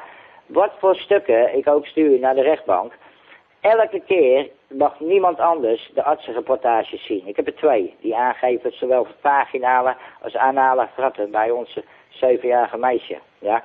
Dus als ouder word je daar woest mhm. over. Deze kinderrechten, als je je mond opentrekt over seksueel misbruik, kijken ze gelijk de andere kant uit. Al deze mensen die in deze secte zitten, één ding wat ze ook allemaal hetzelfde hebben, ze kunnen het niet aanhoren als je details vertelt over het seksueel misbruik. En dat komt omdat ze het allemaal zelf ondervonden hebben. Geen één kan het aanhoren, ze gruwelen ervan. Nou, als ik een gesprek zou aangaan met jou, Desiree, of gewoon een willekeurige Nederlander die hier niet eens en je begint te praten over te vertellen wat er met je kind gebeurd is en je vertelt over details. Ze horen de details aan en ze worden er kwaad over of ze geven een reactie. Deze kunnen het niet aanhoren. En dat komt doordat ze A, ze hebben het zelf ondervonden en B, ze doen het ook. Ja? Want, want, want kijk, dit, dit zijn allemaal die troeachtige tafereelen. Waar, kijk, deze Rooms-Katholieke Kerk, die gaat helemaal, die de OM volledig in handen. Ja, ik heb uh, drie smaad aanklachten gehad, dreiging arrestatie, dreiging dit. Elke keer als ik van een topadvocaat een brief krijg over, je mag dit en dit, en dit niet zeggen over die voogd van bureau jeugdzorg. Of je mag uh, niet over het OCK het spelier praten. Dan zeg ik, luister je sukkel, neem me maar voor een rechtbank. Daar onderbouw ik wel de stukken met opnames die ik opgenomen heb. En met artsenrapporten, ja. En dan zeg ik, komen jouw poppen s'nachts ook tot leven? Ze schrikken arend. En dan zijn ze weg. Ja. En, en dan hoor je ze niet meer. Ja. Het is heel, heel vreemd. Kijk, in de tijd dat, dat mijn dochtertjes op het OCK het spelier uh, zaten. Ik ben best wel een gezellige kind met kinderen. En ik kan best wel andere kinderen praten. En elke hm. keer daar als ik op de groep was, toen vroeg ik aan andere kinderen, dus tijdens bezoeken aan mijn dochters, want we mochten eerst twee keer per week komen. Op een woensdag en op een zondag. Ja? Dus dit is nadat ik vrij kwam uh, eind uh, maart 2010. En dan, mm sommige kinderen daar ook, die begonnen mij de gekste dingen te vertellen. En ik, ik zal even een, een, een paar opnoemen, zoals mhm. met kinderen gedaan wordt bij het OCK-spelier. Nou, Chiara, die uh, meisje daar, die zegt het is heel eng op de terpen en er gebeuren daar heel veel rare dingen. Nou, Demi, onze dochtertjes, die is meerdere keren onder een begeleider, door een begeleider onder een koude douche gedaan. Ja? Nirvana, mm. en, en Nirvana is een slimme meid, nu van 13 jaar oud, toen die tijd net 12 geworden. Ze zegt, pap, ze geven je iets waardoor je het vergeet. Ja? Mm. Nou, begeleidster Judith, die zei, ik doe wel meer kindjes onder een koude douche. Dan luisteren ze tenminste. Ja? Nou, ja, ja, onze jongste dochtertje, die werd meerdere keren door een groepsgenootje bedreigd met een mes. Ik ga je in je kop Ja? Dat, soort, dat, dat, dat soort dingen. Nou, en dan begeleidt ze Maria bij het uh, naar bed brengen van Demi om uh, acht uur s avonds. Die zei tegen Demi, heel griezelig, Demi, wist jij dat s'nachts al jouw poppen tot leven komen? Ja, dat geeft natuurlijk angst voor een kleine meisje, ja. Maar dat is het mhm. satanische, dat is het satanische element erin. Zij zegt dat doelbewust, ja, maar dat waren dingen in een kist opgesloten worden. Dat gebeurde door opa, ja. En waarom die Maria vertelt aan Davy, straks komen al die poppen tot leven. Later in die nacht, en ik stond die nacht om één uur s'nachts in, in de fucking tuin van die LCK-spelier met mijn partner die naast me zat. Ja. Er komen er andere mensen op de groep en die doen dan maskers op. Ja. Die misbruiken het kind met deze maskers. En in de ochtend moest Davy denken, het waren mijn poppen die in de slaapkamer geweest zijn. Zo doen ze dit. Ja? Dus ze verstoppen achter die maskers. En wat ze doen bij, bij, bij jongens, eh, daar, oh, met name uh, Dino en Thibaut, twee jongetjes daar. Nou, de, de allereerste week, en ik, ik heb een, een moeder met een nummer, en dat gaf ik aan de politie alles, en dat werd gewoon in de dooppoort gestopt. Deze moeder heeft vier keer geprobeerd aangifte te doen van seksueel misbruik van haar jongens daar. En net zoals onze voogd, mag je niet over praten. Maand geen bezoek. Ja, maand mag je je kinderen niet zien. Ja, je bent niet goed bezig als je hierover praat. Die jongens vertelden dat ze een andere jongetje daar haar moesten bevredigen. Ja, de eerste week dat ze daar op de groep waren. En dan hadden ze gekke Cor, een oudere jongen van 12. Die liet, die liet een paar keer per week, liet zijn lid zien aan alle jonge meisjes daar. Ja, dat soort dingen. Ja. Dan, dan hadden ze weer een andere jongen, die gilde door de gangen heen s'avonds. En uh, als de jongens en meisjes sliepen, hij rende dan gillend in de slaapkamer, ah, om ze bang te maken. Constant moet de strik erin blijven, dan praat het kind niet over. Constant, ja. Ben, even, ben, ben, ben, ben even een vraag tussendoor. Um, heb jij ooit contact gezocht met de commissie Samson om dit soort ervaringen te delen? de commissie Samson heb ik uh, vier keer stiekem een afspraak gehad met iemand die wel eerlijk is in de commissie Samson. Ja? De commissie Samson, die schreef mij een brief terug dat ze dit van het OCK in onderzoek gingen doen bij de politie, zedenpolitie in Haarlem. Ja? Die mensen heb ik gesproken. Dat was uh, Annemarie van de Hulst, ja, en meneer De Ruiter. En hoe toevallig is dit? Meneer De Ruiter, die ons te woord stond, ja, is dezelfde meneer De Ruiter die Marcel Vervloesen, ja, dat is de, de man van uh, in België, ja, die toen die tijd die kinderspornozaak uh, in Zandvoort naar buiten bracht, waar er ook films en foto's waren, 88.000 afbeeldingen van seksueel misbruikte kinderen. Deze de Ruiter is degene die gesprekken gehad heeft. Dat ging in de doofpot. Na negen maanden onderzoek van de heer De Ruiter en enkele collega's in Haarlem kwamen ze tot de conclusie dat, uh, dat die man in Zandvoort alleen gewerkt had. Nou, iedereen in Nederland weet dat dat de grootste bullshit verhaal die er is. En, ja, en, natuurlijk, maar dat, dat, dat, dat, gebeurt, dat ben steeds, hè, dat, dat ook met, met uh, politieke moorden en aanslagen, zijn altijd lonely nuts, uh, allemaal van die eenzame gekken die het allemaal doen. Maar uh, even, even een vraag, heb jij het gevoel dat, dat nou ja, de OCK Spalier is in Zandvoort, en je sprak net over die Zandvoort files, die viel even weg, de laatste waren. Oké Ben, mijn vraag, mijn vraag was, zie jij een, een, een uh, verband tussen, een link tussen uh, dat OCK Spalier en die Stanford files? 100% die is er ook. Die heb ik ook al vier, vijf verschillende manieren gevonden. Dat heb ik ook een aantal weken geleden heb ik dat opgestuurd naar Interpol in Lyon. Dat zijn een beetje de enigste die ik vertrouw, die het ook echt grondig uitzoeken. Nou, en dan New Scotland Yard, die is in 95 ook zelfs in Zandvoort geweest. Uh, want Child, uh, CEOP, dat is Child Online Protection Service, die zijn op dit ogenblik wel een onderzoek aan het doen naar OCK Hetspelier. Natuurlijk, kijk dat OCK Hetspelier, het heette vroeger de Amsterdamse vakantiekolonie. Waar bleekgezichten, ja. zo noemden ze de kinderen, die kwamen daar. Al die begeleiders van het spalier namen die kinderen naar huis, voor een avondje te slapen. Ja, die kinderen die gingen net zoals de Jersey Gruwelhuis in Engeland, onder Engeland, met, met, met, uh, met boten mee. En dan bleven ze een weekend weg. En dan werden ze teruggebracht. Ik heb die Kiara, dat is een, een aardig meisje in de leeftijd van mijn dochtertje. Ik heb haar weg zien gaan met acht verschillende ooms. Alleen in de, in de acht, negen maanden dat ik te maken met de OCK Spolier, heb ik dat meisje met acht verschillende ooms weg zien gaan. Elke keer als ze terugkwam op een zondagavond, hoe was het? Ze wist nergens de kloten vanaf, maar het was wel leuk geweest en ik heb heel veel cadeaus gehad. Ja, en dat is een, een, een, een vorm van hoe ze dit misbruik ook toepassen. Ja, je wordt als een beest misbruikt, daarna krijg je heel veel cadeaus, En er is helemaal niks gebeurd, joh. Er is helemaal niks gebeurd. Denk aan de leuke dingen. Ja, en dat is het eerste wat, wat, wat er gezegd wordt dan. Denk aan de leuke dingen. Nou, de leuke dingen zijn de laatste die in je mik gedouwd wordt. En dat wat ervoor allemaal gebeurd is, dat moet je vergeten. Mag je niet over praten. Ja, natuurlijk is, is, is Zandvoort gelinkt aan, aan het OCK-spelier.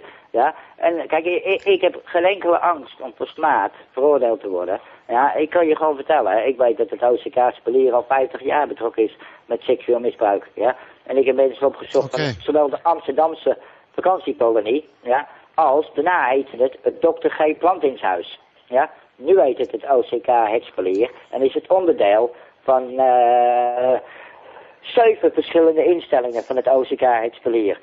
Maar vreemd genoeg is er ook weer een hele kleine afdeling van, uh, is het een jeugdreacht of zo? En die behandelen. Maar elk kindje dat daar vertelt, dat wat hun niet weten, als onze dochters erheen gingen, dan gaf ik ze wat, dat ik stiekem kon horen. Alles wat hun verteld hebben over opa, in de kist opgesloten worden, opa met de katten, maskers gebruiken, opa doet een masker op en dan pakt die mama en dan moet mama met de mannen mee. Alles wat hem vertelde, kwam geen ene woord op papier. Niks, nee, niente. Het is een hele doofpot, een geoliede machine eromheen. En hoe vreemd is dit?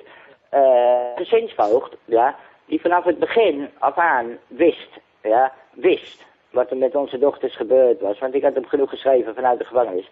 Maar mijn partner heeft hem in urenlange gesprekken precies verteld hoe een familie in elkaar zat. Dus hele familie, ja. En ja, uh, dat heb ik totaal in de doofpot gedaan. Ja. En hij stuurde ons voor wat ze noemden een gezinstherapie. Uh, bij de Waag in Haarlem. Uh, De mhm. heer Felix Mooi. Nou, de Waag in Haarlem had nooit eerder een zaak toegewezen gekregen van bureau jeugdzorg Alkmaar. Wij waren de allereerste. En weet je waarom ze dat deden, Arend? Elke keer als ik daar naartoe ging voor een afspraak met de heer Mooi, moest je even in een wachtkamertje. Het waren allemaal fucking ex-TBS'ers, kinderverkrachters, die daar in die wachtkamer zaten om onder behandeling waren, omdat hun TBS afgelopen was, dan blijven ze nog een aantal jaren onder behandeling. Dus het, ze deden doelbewust, dat is weer het satanische ervan, het spelletje. Leuk is dat. Ben, wie zijn kinderen misbruikt is, die sturen we naar de Waag voor gezinstherapie. Ja, laat hem denken dat hij zijn kinderen terugkrijgt. Maar in tussentijd zit ik onder door de vieste smerige beesten die er zijn. En heb ik natuurlijk de hele tijd dat ik daar in de wachtkamer zit, heb ik jeuk in mijn klauwen. Dan krijg je zijn kop eraf wil slaan natuurlijk. Ja, doelbewust. Ja, allemaal onderdeel van de uitlokking. Ja, allemaal onderdeel van de uitlokking. De hele tijd. En natuurlijk... Ben, ben, ben, ik, wil je, ik wil je heel even onderbreken, want um, je kunt gewoon ook heerlijk doorgaan. En je bent echt een diesel die maar door, uh, doorstoomt. Um, 24 uur dag, Haren. Dat bedoel ik. Het, het houdt je, je zit er zo middenin, het houdt je zo ontzettend bezig. Ik kan me er alles bij voorstellen. Maar het punt is dat we inmiddels al een uur uh, achter de rug hebben. En het mij goed lijkt om even de luisteraars even een adempauze te gunnen zodat ze daarna weer volop uh, met interesse en betrokkenheid verder kunnen luisteren. Als ik nog even een aanvulling mag geven op wat Ben net zei, heel kort. Tuurlijk, tuurlijk, tuurlijk. tuurlijk. Um, je had het erover dat, ze, dat de kinderen terugkomen van zo'n happening en dan uh, het zogenaamd zijn vergeten. Of daartoe worden aangezet om het te vergeten. Dat is ook een overlevingsmechanisme. Dus het werkt dubbel. In feite wat de be belagers doen, is een natuurlijk mechanisme van de mens benadrukken en misbruiken. Namelijk dat, Je, dat je vergeet wat er is gebeurd, omdat het zo overweldigend is dat je systeem anders, als je het zo helemaal zou toelaten, overweldigd zou worden. Dat is wat ja, zo heftig. Zo eng, zo heftig. Dat klopt precies, ja. Ja. ja. En dat is, nou, dat, dat, ze veroorzaken het op een hele jonge leeftijd. Ja, en, ja precies, precies. Dit is allemaal gestuurd door de Rooms-Katholieke Kerk. En ik heb het nou, weet je, Ben, ik wil je toch even... Ja, oké, maak deze zin even af. Ja, kijk, het, uh, dit, dit, dit is gewoon een, een, een satanisme is dit. Ja, een satanisch spel. Ja? Ja. En dit is al honderden jaren oud. En dit is puur Rooms-Katholiek. Alleen, ergens over de jaren heen zijn ze behalve Rooms-Katholieke kinderen gaan misbruiken. Ja, zijn ze andere uh, kinderen, gewone kinderen, van iedereen gaan misbruiken. Ja, dat is wat er, wat er veranderd is met ze. Ja, en er zitten zoveel rechters hier in. Ik zal na de pauze iets toelichten over de commissie Samson en ervaringen daar. Oké, we hebben nog, nog, nog zeker een uh, ruim een uur de tijd, Ben. Um, dus laten we daar zo meteen nog even verder op doorgaan op wat je nu net zei. Um, en nu... Dit is Argezoog Radio. Welkom terug luisteraars bij deze uitzending van Arend Zeevat op Argezoog Radio op donderdag 4 augustus. Met als gast uh, Ben van der Brink, die tot nu toe al heel wat onthullends en schokkends heeft verteld over wat er zo binnen jeugdzorginstellingen uh, allemaal gebeurt. En hoe de rechtelijke macht en justitie en Rooms-Katholieke Kerk en alles en nog wat daarbij betrokken is. Nu zit ik hier in het land van de, het basisland van de Katholieke Kerk op enkele honderden kilometers afstand van het hoofdkwartier van de Jezuïeten en uh, de, de paus en het hele Vaticaanse gebeuren. Dus uh, het, het, Italië is er ook vol van natuurlijk. Ik heb er eigenlijk weinig zicht op hoe dat hier speelt. Ik had het nog een beetje uit willen zoeken, maar de tijd ontbrak mij. Maar goed, het is dus een ander stukje achtergrondinformatie wat uh, Desiree net in de chat plaatste. En wat ik wel fijn zou vinden als ze dat even voor zou lezen. Want dat, dat geeft ook een beetje een, een inzicht uh, ten aanzien van waarom juist kinderen voor drie of vijf jaar uh, dit soort zaken ondergaan. Desiree, ga je gang. Ja, uh, dit is een stukje wat ik vond in het boek van Elizabeth Dilling.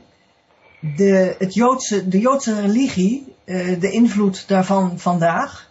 Ik vertaal het even uit het Engels allemaal. Uh, voordien heette het de samenzwering tegen het christendom. En de vierde editie daarvan was in, in 1983 en die had een revisie ondergaan en die heeft een index gekregen en je kunt het vinden op uh, http://www.com-and-hier.com dilling. Maar een van de dingen die zij uh, citeert uit uh, de Talmud en daar commentaar op geeft is de volgende zinsnede. Wanneer een volwassen man geslachtelijke gemeenschap heeft met een klein meisje is dat helemaal niks wanneer dat meisje jonger is dan drie jaar oud. Het is alsof iemand zijn vinger in een oog stopt. Tranen komen steeds weer naar dat oog toe. En zo, op dezelfde manier, komt het, het maagdenschap terug bij dat kleine meisje onder drie jaar. En dan zegt ze erbij, uh, zie uh, exhibit 136, Ketu Bot 11b of de Talmud. Nou, ik ben dit boek uh, weer nog weer een keer aan het downloaden. Uh, en ik zal daar een pdf van maken, zodat die op de site kan komen als het nodig is.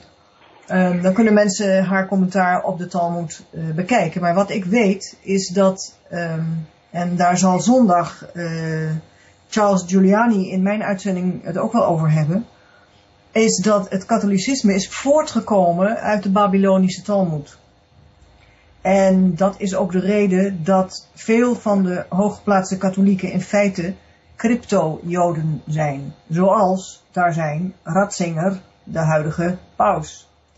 En dat zijn dus regelrechte satanisten voor wie uh, misbruik met jonge kinderen uh, ja, iets is wat uh, niet alleen gedoogd wordt, maar zelfs aangeprezen wordt in de Talmud.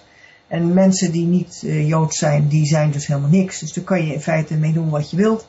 En dat is wat je ook in deze wereld ziet gebeuren. Ja, uh, volgens mij is Arend weer daartussen uitgevallen, dus ik ga gewoon even door. Um, dit zijn dingen die weinig mensen weten. En uh, je hebt dit soort kennis nodig om de patronen te kunnen herkennen van wat er gebeurt. En alles wat Ben mij uh, en ons heeft verteld vanavond, valt voor mij binnen het uh, verhaal wat ik net heb voorgelezen. En uh, de achtergrond waar dat vandaan komt.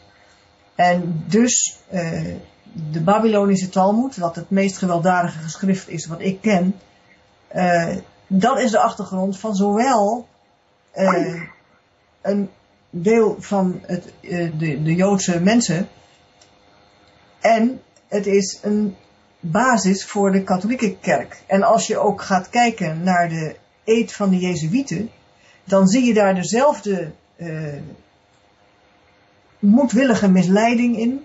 Je vindt daarin terug dezelfde gewelddadigheid, dezelfde arrogantie naar alles wat niet is zoals zij zelf zijn. En als ik in de wereld om mij heen kijk, dan zie ik dat alom aanwezig. En als je uh, bijvoorbeeld kijkt naar de regering uh, van uh, Obama, dan zie je dat daar een heleboel van die talmoeders in zitten. En dat is niet voor niks. ze hebben zich overal binnengedrongen. Ze zitten in alle hooggeplaatste posities in geneeskunde, in de rechterlijke macht, in nou alles wat je kunt bedenken. De farmaceutische industrie, enzovoort, enzovoort. Eh, bankwereld. En zij zijn degene die bezig zijn om een nieuwe wereldorde te willen neerzetten. En het feit dat mensen, zoals de kinderen van Ben, worden misbruikt. In verband met het creëren van door op trauma gebaseerde mind control dat hoort daar allemaal bij. En dan heb je dus als één wereldorde heb je een, slaafse bevolking die te bang is om voor de duivel te dansen, letterlijk. Alleen eh, de duivel zit dan op de troon van de nieuwe wereldorde. Dat, laat dat duidelijk zijn. Dit zijn satanische lui. Zonder geweten. Zonder enige meegevoel of empathie. Wat is daar op jouw commentaar, eh, Ben? Want jij bent er nog wel, geloof ik. Ja, het is pas zuiver wat je daar zo uh, vertelt, Desiree. Want eh, de hele doel van dit onder de koude douche zetten, uh, doe je ogen dicht. Het, is, het gaat om het gevoel uitzetten. Totaal gevoelloos zijn. Kijk, en daarom worden kinderrechters van tevoren, voor de zittingen, worden ze gemanipuleerd, gevoel uit. Alle nare, ellendige dingen waar de ouders mee komen, de verdriet, de wanhoop. Waar zijn mijn kinderen? Uh, waar worden ze nu heen geplaatst? De rechter die heeft daar 0,0 voor, want ze is erin opgegroeid. Gevoelloos. Je verspilt je tijd. Ja? En waarom denk je dat zoveel jeugdzorg voogden, vrouwelijke voogden, onder de 25 jaar oud zijn? Ja? Ik denk dat 70% van die meiden seksueel misbruikt zijn en die zijn zo makkelijk te sturen. Kijk, en mijn ervaring is, zodra jij met een oudere vrouw van 45, 50 jaar oud praat, je komt veel verder. Er is meer gevoel, er is meer begrip. Klopt, ja, en, en, de, de, training, zal ik maar zeggen, de, de, de, de, de, satanische training is dan wat aan het uh, vervlakken. Dat klopt. Ik heb in mijn uitzending heel in het begin twee dames gehad die ook uh, sekslavinnen, mind control uh, slachtoffers waren. En die vertelde mij dat ze op een gegeven moment zeg maar wakker werden uit die trance, zo, zo gezegd, ja, ja. waar ze ingezet waren. Ja, en uh, die zijn dus daarna vreselijk gaan uitzoeken hoe het zat. Vooral nadat ik, de, toen ik die ene had gesproken op een bijeenkomst in een, in een restaurant in Amsterdam. Toen had zij mij daar iets over verteld en ik was de eerste die naar haar reageerde met van, ja, ik begrijp dat je daarin gezeten hebt en ik begrijp dat je daar probleem mee hebt en dat, je, dat, het, dat het zo is. En uh, ga op zoek, ga het ons doen in jezelf, ga het helen in jezelf. En dat is ze toen gaan doen, maar wat ik dus niet wist, is dat mijn opmerking van ga het helen in jezelf, dat dat op haar zo'n enorme indruk heeft gemaakt, dat ze toen dat is gaan doen ook. En ook dan iemand op haar pad vond, die in diezelfde situatie had gezeten, dus ze zijn sindsdien met z'n tweeën op zoek om uh, de programmatuur uh, uit te schakelen. Maar dat valt niet mee hoor, want ik was met ze een keer in een, uh, in, in, in Dam, had ik een afspraak met ze in een restaurant en toen, ja, toen gebeurden toch wel dingen dat ik dacht van, kijk, ze zijn er niet vrij van nog, want uh, aan het andere tafeltje was iemand met een mobiele telefoon bezig. En ja, nou, dat werden ze, daar zijn ze. Ja, dat maakt ze zenuwachtig. Ja, daar weet ik alles van, deze En als er iemand bij hun in de buurt een rode tas op de tafel neerzet, code, hou je mond dicht, gelijk klappen ze dicht. De persoon, het slachtoffer, ja, om erover te gaan vertellen, moeten ze heel veilig voelen, geliefd, ja, en heel veel begrip en geduld. Dan komt alles eruit. Je moet het persoon echt afschermen, ja, dat er niks of niemand bij hun kan. Want ze denken natuurlijk, die gaat weer terug in een kist, of dit gebeurt, of dat, ja. Ze moeten een heel veilig gevoel hebben. Zodra ze dat gevoel hebben, bom, komt alles eruit. En dat is ook de reden waarom veel bezoeken van bureau jeugdzorg, kinderen die uit huis geplaatst zijn en hun ouders, die zijn begeleid. Zodra de kinderen alleen zijn met de ouders, rust, ja, dan durven ze, dan praten ze. Ja, maar ze houden constant die druk eromheen. En, en, en, en doelbewust wat ze doen, als jij op een, op een groep mag komen bij je kinderen, hebben ze doelbewust andere kinderen eromheen. Die maken herrie. Die trekken hier aan, die slaan met dit. Dat is alleen om het kind af te, af te leiden. De herrie doet ze gelijk al dichtklappen. Gelijk al. Ik snap het. Het is inderdaad raar wat, wat je zegt.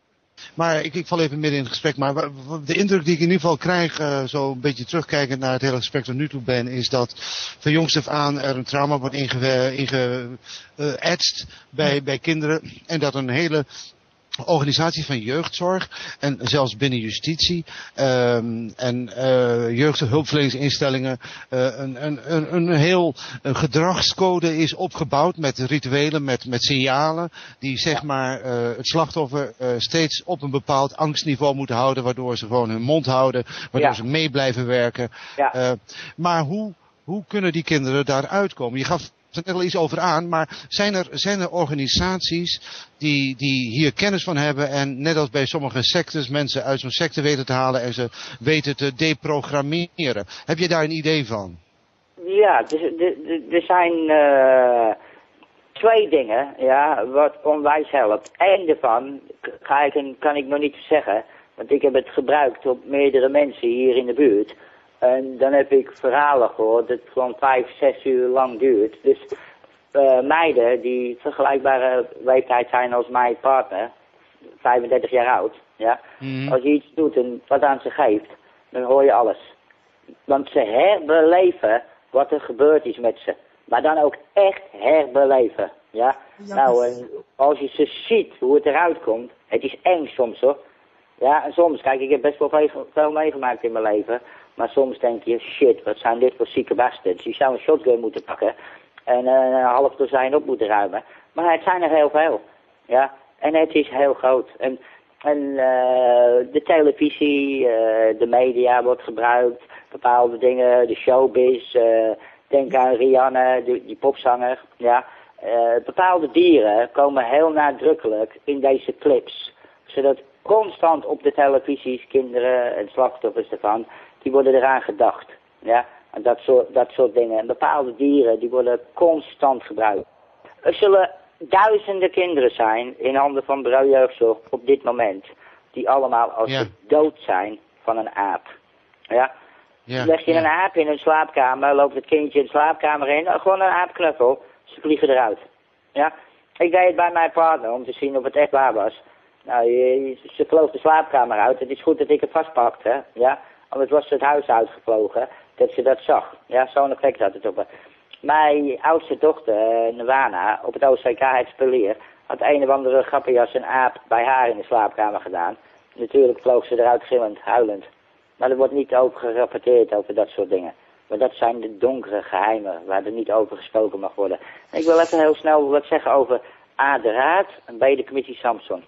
De Raad van de Kinderbescherming kwam in een gesprek met de moeder bij ons thuis. Dus dit is een tijd dat de moeder alleen was. Ze wisten dat ik, de vader, vast zat in de gevangenis en de kinderen uit huis. En ze, nee, de kinderen waren toen nog in het huis, maar die werden naar boven gestuurd. Ja? En een van de nadrukkelijke dingen wat ze doen als ze een kindje pakken, dan zeggen ze, ga naar boven jij. Ga jij maar lekker spelen. Maar wat ze daarmee bedoelen, is dat het kind naar boven gaat en met zich eigen gaat spelen en aan het kijken zijn. Ja? Nou, in een gesprek, uh, de, de, raad kwam, en de kinderen naar boven gestuurd. De raad kwam met vijf man voor een gesprek met de moeder. Ja, ja dus het is mij overduidelijk. De raad wist 100% van de seksueel misbruik in de jeugd van mijn partner. Want zodra zij vijf man om haar heen krijgt, dan is ze makkelijk te intimideren. Ja, het is niet dat ze ervan flauw valt of wat dan ook, maar ze is heel makkelijk te sturen. Ja, en als die vijf vrij dicht op haar zijn, doet het haar onmiddellijk denken ja, aan vroeger, ja, de Romeinen. Wat, wat, wat, wat heel vaak gedaan wordt door deze gekke satanistische bastards. Zoals de OCK Spelier ging naar een plaats uh, op zomerkamp afgelopen jaar. In Losser, ja. Ik moest die plaats helemaal zoeken. En het eerste wat je daar hebt, zijn kleine ronde hutjes met een open haard in het midden. De muren zijn helemaal bedekt met vlinders, want dat maken ze. De kinderen, daar maken ze vlinders van, want dat zijn hoertjes. Ja? Ja? En die hele hutje, dat wordt bedekt met, met, met grote berenkleden uh, en kleden van uh, dieren. En s'nachts gingen ze doodleuk de bossen in, s'avonds laat. Maar dat is allemaal onderdeel van het satanisch spel, het bangmakerij. Ja? En uh, dus de raad die was volledig op de hoogte van. Daarom kwamen ze ook met vijf man. En wat betreft de commissie Samson hebben snel. Uh, wat de meeste mensen weten is... Uh, er zijn verschillende mensen die vragen gesteld hebben over mevrouw Samson Gillings, voorzitter van de Samson, commissie Samson.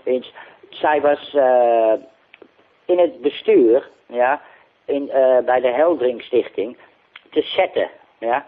Zij was in dat bestuur, terwijl er ontelbare meldingen van seksueel misbruik waren. Ja, toen was zij lid van het bestuur, dat is bekend.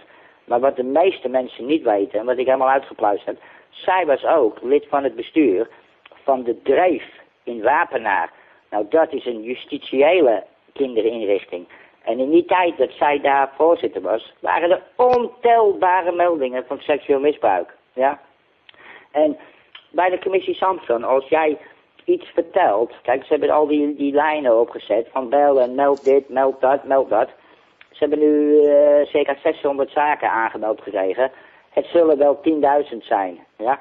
En elk zaak dat een beetje pikant is, waarin sprake is van uh, deze Rooms-Katholieke sect aan de bak. Dus dan altijd meerdere, meerdere uh, daders van het misbruik. Dan gaat het doelbewust naar een mevrouw De Bruins. Ja, deze mevrouw, de Bruins, dekt het allemaal af. Alles pikant, wat niet onder de ogen voor bepaalde commissieleden wordt, wordt eruit gehaald. Ik ging uh, twee keer naar Den Haag en heb ik stiekem een uh, andere van de commissie Samson, gewoon een medewerkster, benaderd en gevraagd, hey, uh, heb jij dit wel gelezen, betreft mijn kinderen? Ja, ze wisten er niks van. Ja, dus toen wist ik al, het is een hele doofpotcommissie. Kijk, en die commissie Deetman, die zogenaamd misbruik in de Rooms-Katholieke Kerk uh, moest onderzoeken. Waar ze duidelijke melding hadden. Die kalfvlees zat erin. Nou, hij, dat, dat was de voorzitter van de, van de NMA. Waar Michikat al, al lange tijd mee bezig was. En gelukkig is hij nu opgerot. Maar hij zat gewoon doodleuk op de commissie. Ja?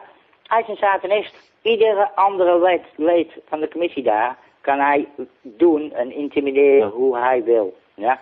En er zit zo'n gigantische geoliede machine achter. Het is heel intimiderend voor andere mensen, ja, als ze op je komen.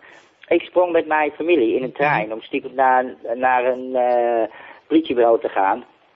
Om een, een andere plaats bij ons vandaan, om uh, daar stukken achter te laten. Betreft, uh, dit is net voor mijn arrestatie, om het naar buiten te brengen.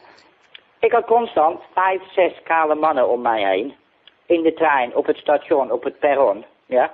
Die moesten mijn vrouw intimideren. En kale mannen speelden een heel belangrijke rol met deze sect. Ik weet niet of het Jesuiten zijn of wat dan ook.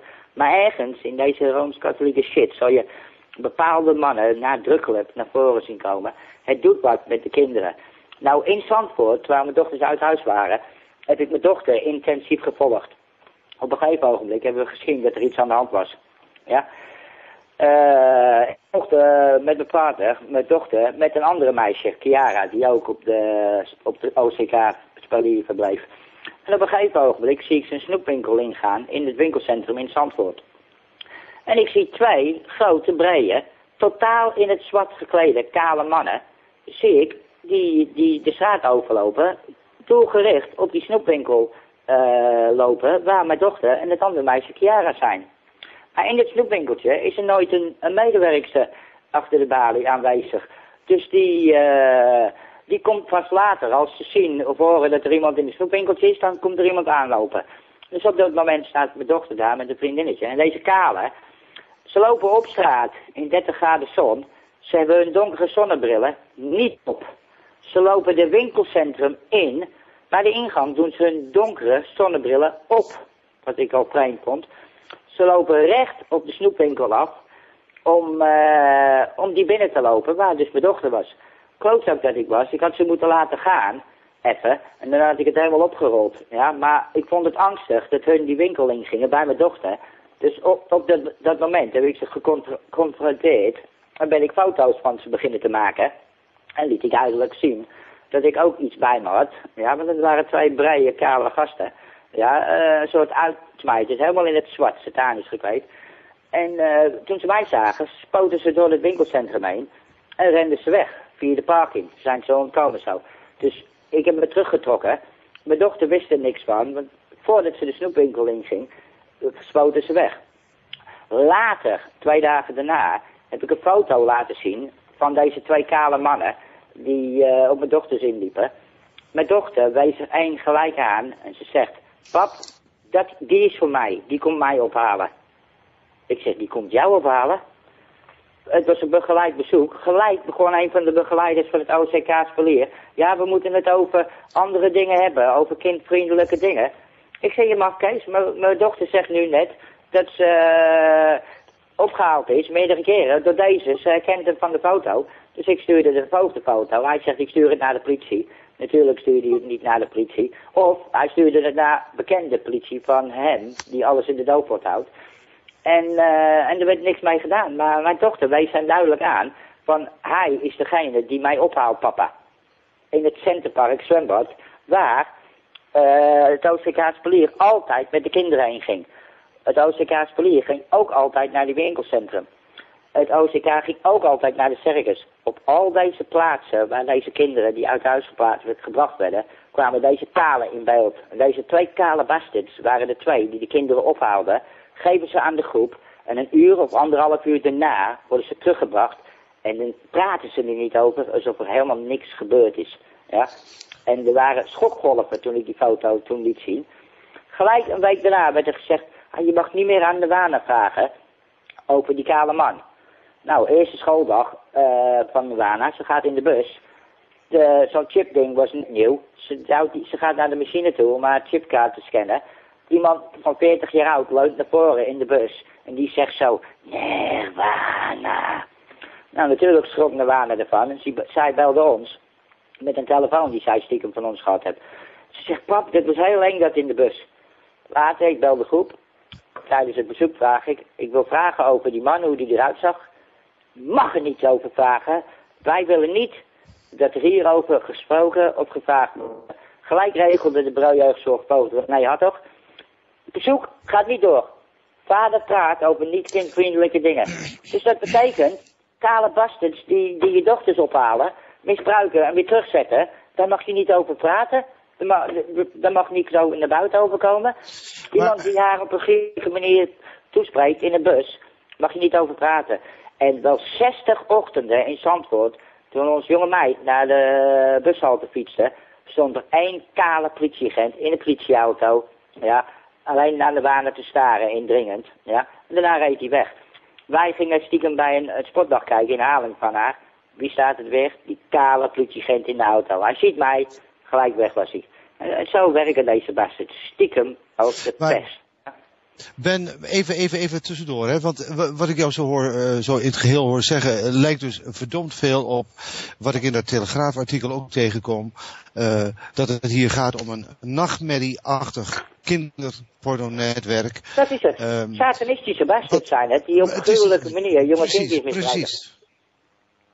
Gruwelijke manier. Maar kijk, precies, nou dat is... Dat, er lopen dat, dat, honderden. Maar, maar er zit, wacht even Ben. De, de, ja, tuurlijk, tuurlijk dat, dat mag duidelijk zijn. Dat mag duidelijk zijn. En je, je, je hebt al een paar keer heel duidelijk aangegeven dat het hier om een bijzonder goed geoliede uh, machine gaat. Die uh, ook, ook alle, zeg maar, uh, de justi justitie en politie aan de kant heeft uh, wanneer het nodig is. Ik ga je even snel de tussendoor vertellen. Ja, wat, wat, wat, wat, wat, wat Oké, ga je gang. Ja. Uh, busconducteurs waar jongeren in gaan. Ja? treinconducteurs die kaartjes controleren, heel erg. Ontelbare zwembaden, ja, die worden op, expres gebruikt, maar dan ook ontelbare. En het allerergst, ontelbare Nederlandse leraren op scholen. Het is ongekend hoeveel. En elk persoon, ze hebben allemaal contact met elkaar, ja, via de website Schoolbank. Ja, want het begint uh, bij de familie. 9 van de 10 keer het misbruik bij de opa oh, wordt het ingevoerd. En het gaat door op school. Ja? Op school, constant. Constant zitten de oudere kinderen op die jongere kindjes. En op de groepen van, van bureau jeugdzorginstellingen. Zodra zo'n kindje op de groep komt, ze worden bewerkt door ouderen. Gelijk. Het zijn de oudere kinderen die die kleintjes pakken. En die, ja, en ze moeten ze misbruiken, want dan worden ze dader.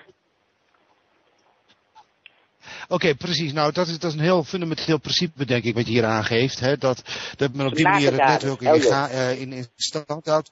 Precies, precies, precies. En, en, en dat is natuurlijk op dat politieke niveau van, van Demming en dat hele ambtenaarapparaat precies hetzelfde. Die mensen zijn allemaal chantabel, waardoor ze gewoon binnenboord nog iets anders, uh, Ben. Want ik heb van jou ook begrepen dat na dat OCK Spalier jouw kinderen overgeplaatst zijn naar huizen. Hè, in, ja, in Utrecht. Dus... Hè, bij heel wat. Ja, ja, wacht even, wacht even. even la, la, la, ja, precies. Nou, laat me even mijn vraag formuleren.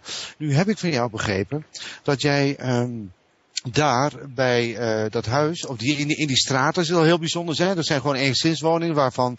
Uh... De mij val je even weg, Arend. Ja, je bent weer weg. Nou, dat geeft mij de gelegenheid om even te zeggen dat die vijf mannen waar jij het steeds over hebt... Altijd vijf, deze ja, Altijd. Maar dat doet mij denken aan de vijfpuntige ster. Dat is een satanisch symbool. Ja, dit is hem. Het is altijd vijf man. Pentagram. Pentagram, toch? Ja, ja. pentagram, ja. De satanisch. Altijd vijf man. Ja. Oké, okay, nou, ik wilde nog even, even nu, nu ik begrijp dat ik er weer ben, um, even, ja. even naar, naar Oh shit, jongens, wat is dit, hé? Dat is balen. Oké. Okay. Dat zijn ook cruciale momenten. Maar goed. Ja, uh, ja maar vergeet niet, een hoop mensen willen dat niet, dit niet uh, allemaal naar buiten komt, nee, nee, dat weet ik. Nee, dat weet ik, Ben, dat weet ik. Maar, maar daarom, daarom doen wij dit juist. Dat wij... Dit gaat een hele hoop mensen uh, wakker schudden. Ja, want als ben, alle ben, ouders... Ben, wacht, hallo Ben, wacht nog even, wacht ja. even. Laat me nou even mijn vraag formuleren, want anders ben je zo weer een uh, heel eind verder. En ik wil even deze vraag stellen, want ik denk dat het van belang is in het kader van dit hele verhaal. Nou, ja, Ben, jij hebt, ja. in, jij hebt in, in Huizen, bij dat, dat huis waar je kinderen zaten, heb jij s'nachts staan posten. Toen heb jij daar iemand binnen zien gaan die uh, hoogst in verdacht is. In het gebouw ernaast, ja. Oh, in het, in het gebouw ernaast. Maar je hebt ja. daar iemand zien binnengaan die ook... Ja, hey, Arend, Arend, ja. Ja, bij mij val je telkens weg. Ik weet niet hoe het is met deze ree, maar ik hoor je ik hoor Arend er ook steeds uitvallen. Maar um, ja, je had dus iemand zien binnengaan in het huis ja. ernaast. En die had connecties, of die herkende jij, laat ik het zo zeggen. Kun je daar ja, iets over zeggen? Ja, nee, op, op dit ogenblik absoluut niet. Ja, okay. omdat ik uh, via andere mensen, ja, gaat die persoon op zeer kort termijn, ja, mij vertellen wat hij daar te zoeken had. En het was een pand uh, ernaast waar mijn kinderen verbleven. Ja. Ja. Het was in het pand ernaast. Ja, maar goed, dat wil niet zeggen dat daar niet een verbinding is naar het pand waar je kinderen zitten. Natuurlijk. Nou, en dat is een van maar, de favoriete dingen van, van wat deze mensen gebruiken. Overal klapdeurtjes, klapluikjes. Net dat het ietsje anders is en dat het moeilijk is voor de persoon om het te herinneren. Ja. Altijd worden dat soort dingen gedaan, ja. En heel vaak... Ja, Arend, zeg maar. Oké okay, Ben, ga je gang. Nou, waar het mij even om ging, uh, Ben, je wilt blijkbaar de naam niet noemen. Ik, nee, nu, nu niet, want ik, ik, ik ben persoonlijk met hem bezig.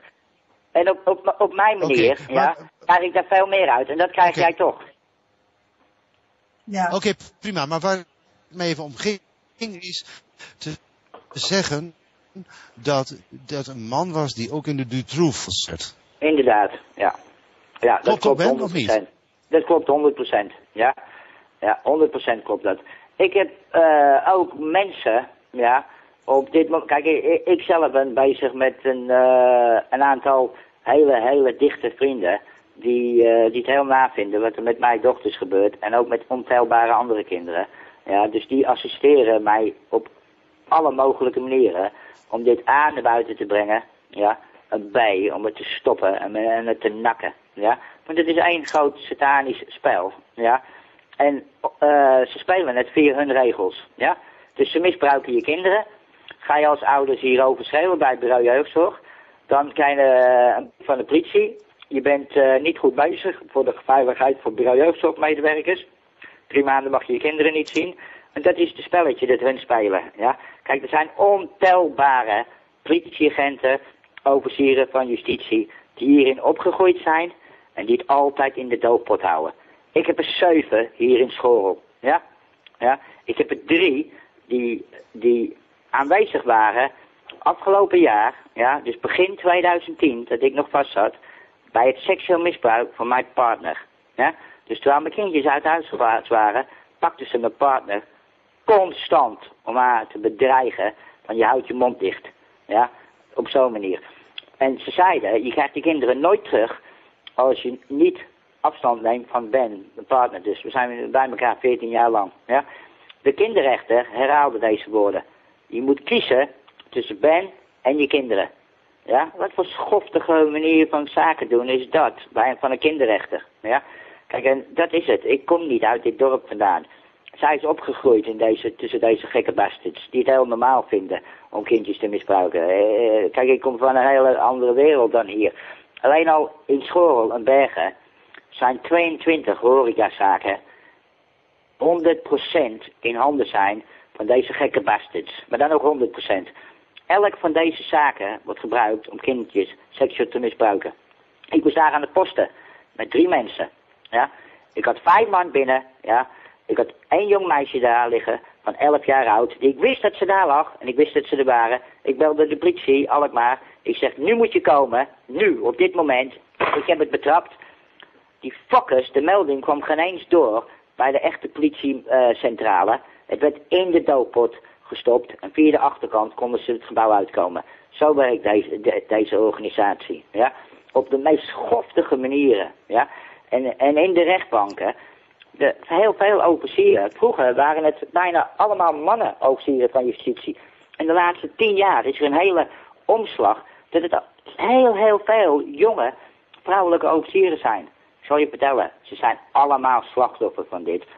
En deze Rooms-katholieke secte, ja, die stuurt het OM volledig aan. Ja. En Joris Demming, nou, dat is een van de grootste beesten die op de aarde rondloopt. En natuurlijk heeft Misha Kat gelijk.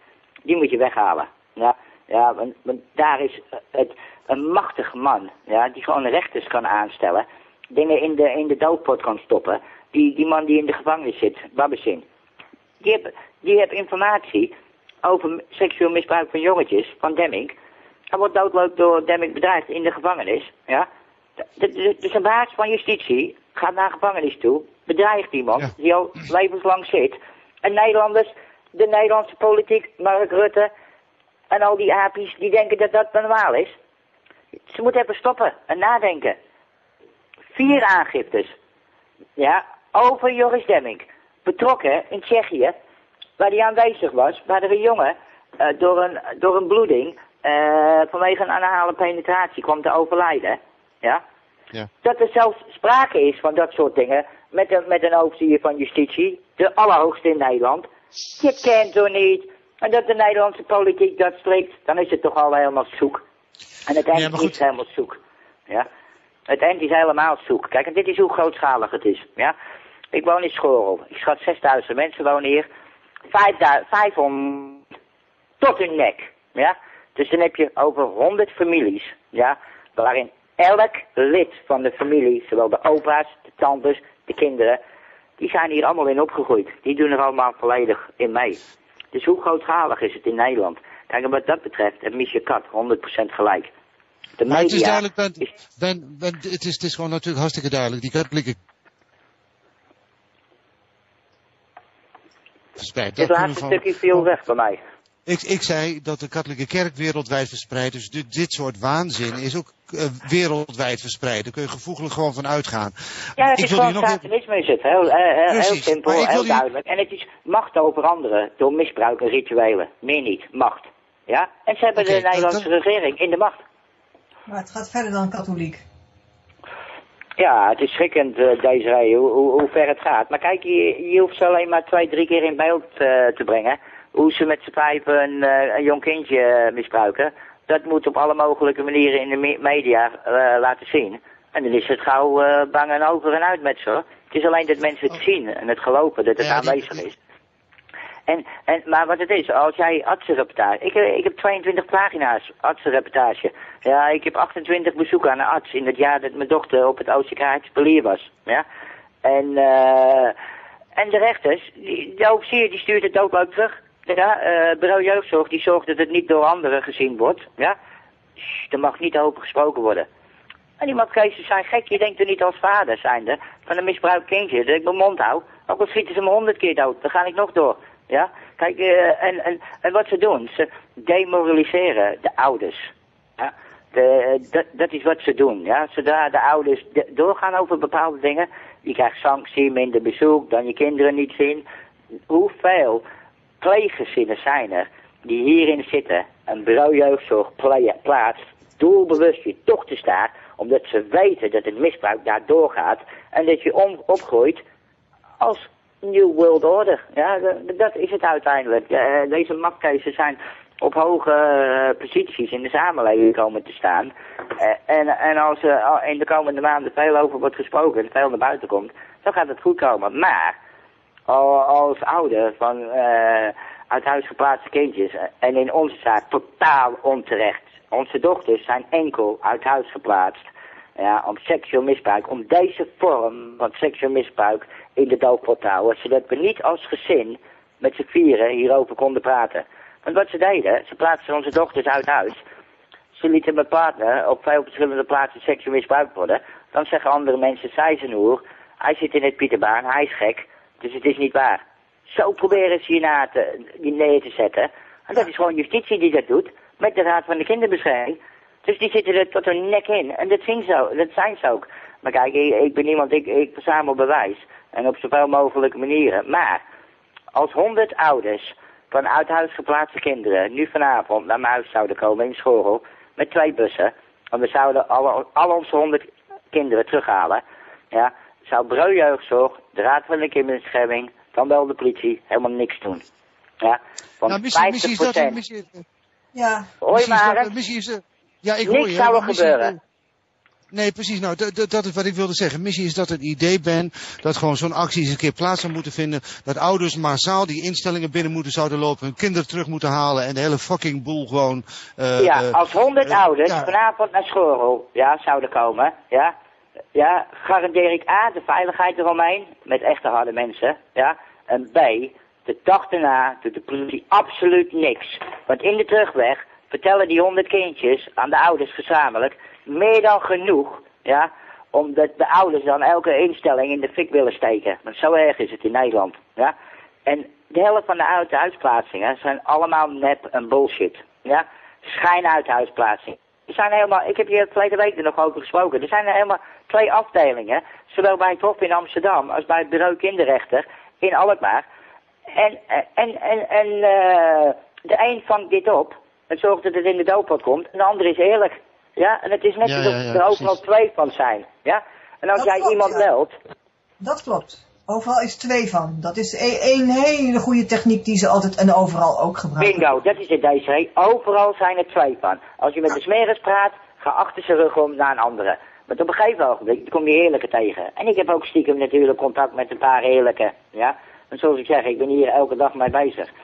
Maar op een ogenblik gaan de mensen die hierachter zitten toch te maken krijgen met een hele hoop boze ouders. Kijk, en als ouder van een misbruikte kindje, ja, laat ik je zeggen, dan ga je ver.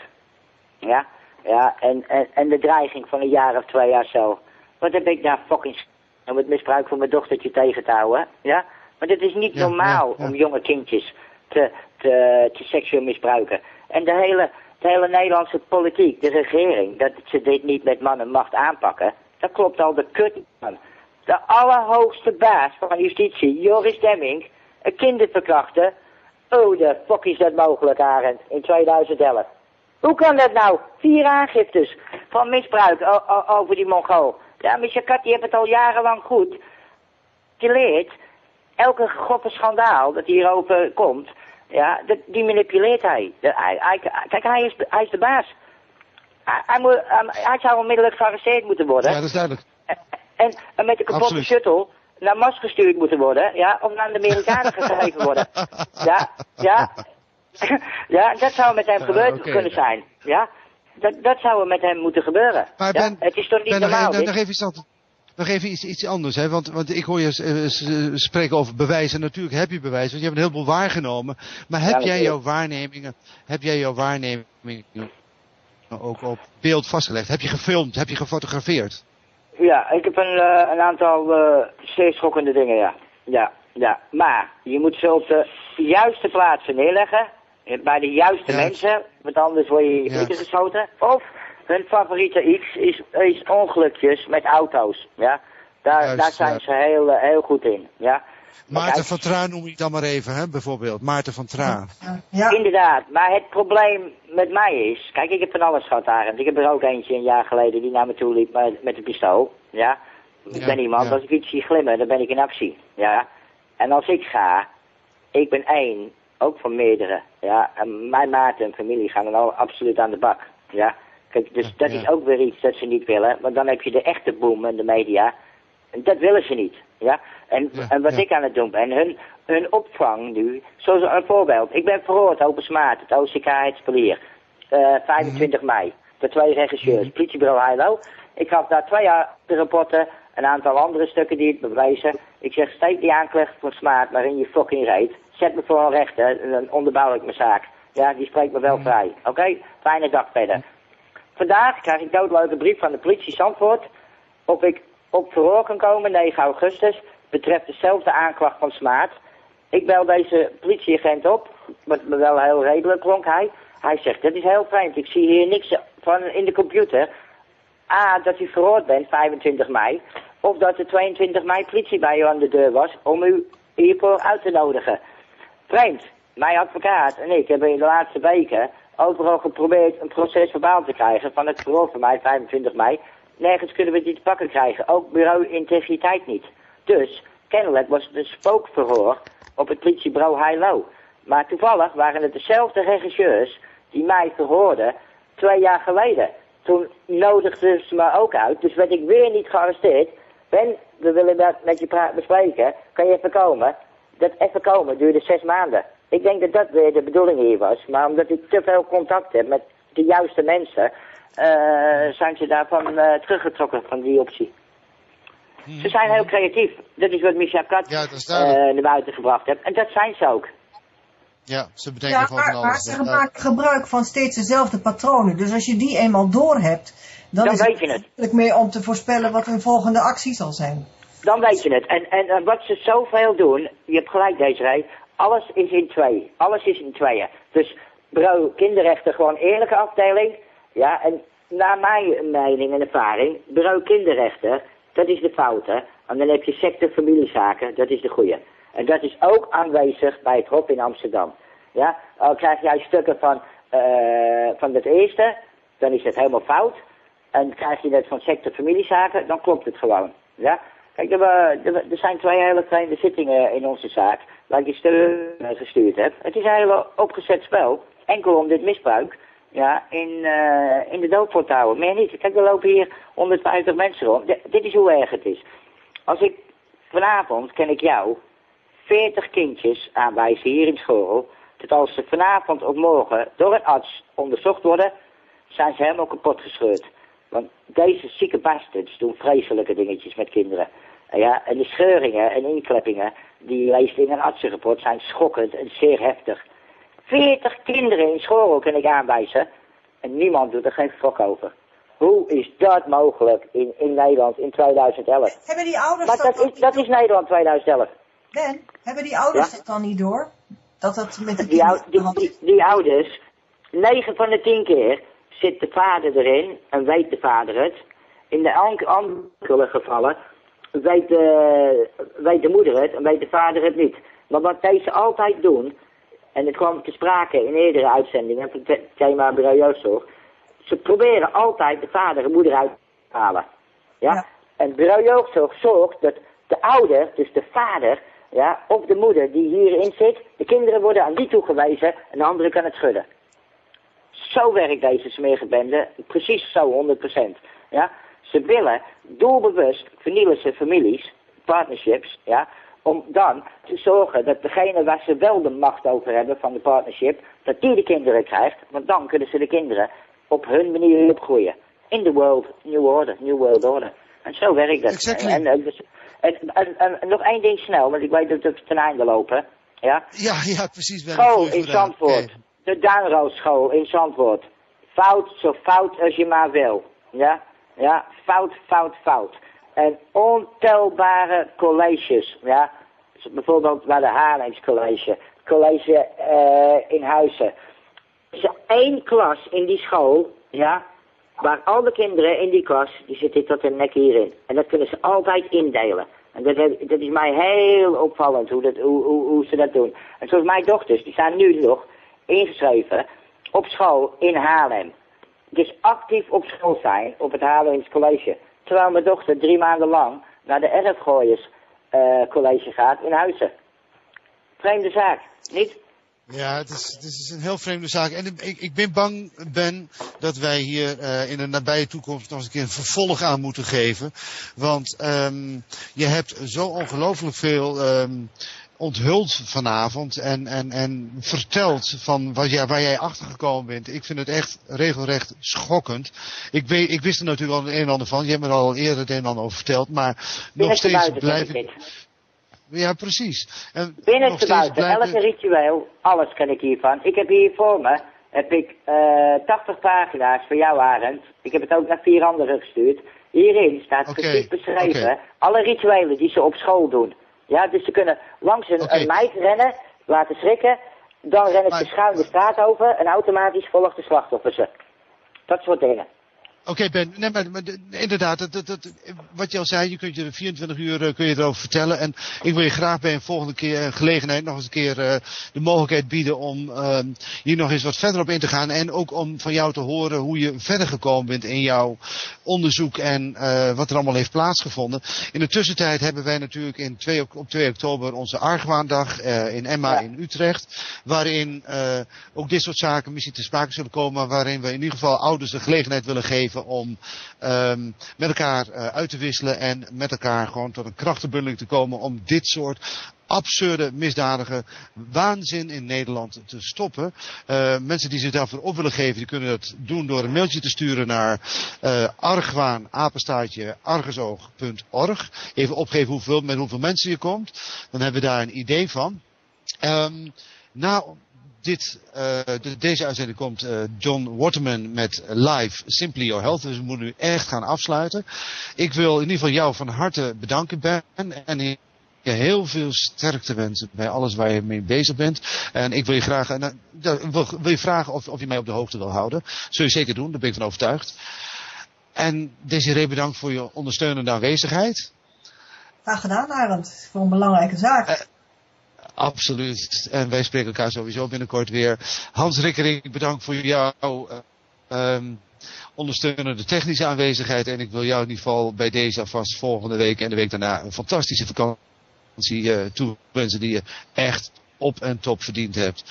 Luisteraars, jullie bedankt voor het luisteren. En ik zou zeggen tot uh, over drie weken dan. Donderdag over drie weken. Ik wens jullie nog een goede tijd verder. Oké, okay, fijne avond verder. En we gaan nog even luisteren trouwens naar... Dit is Argezoog Radio.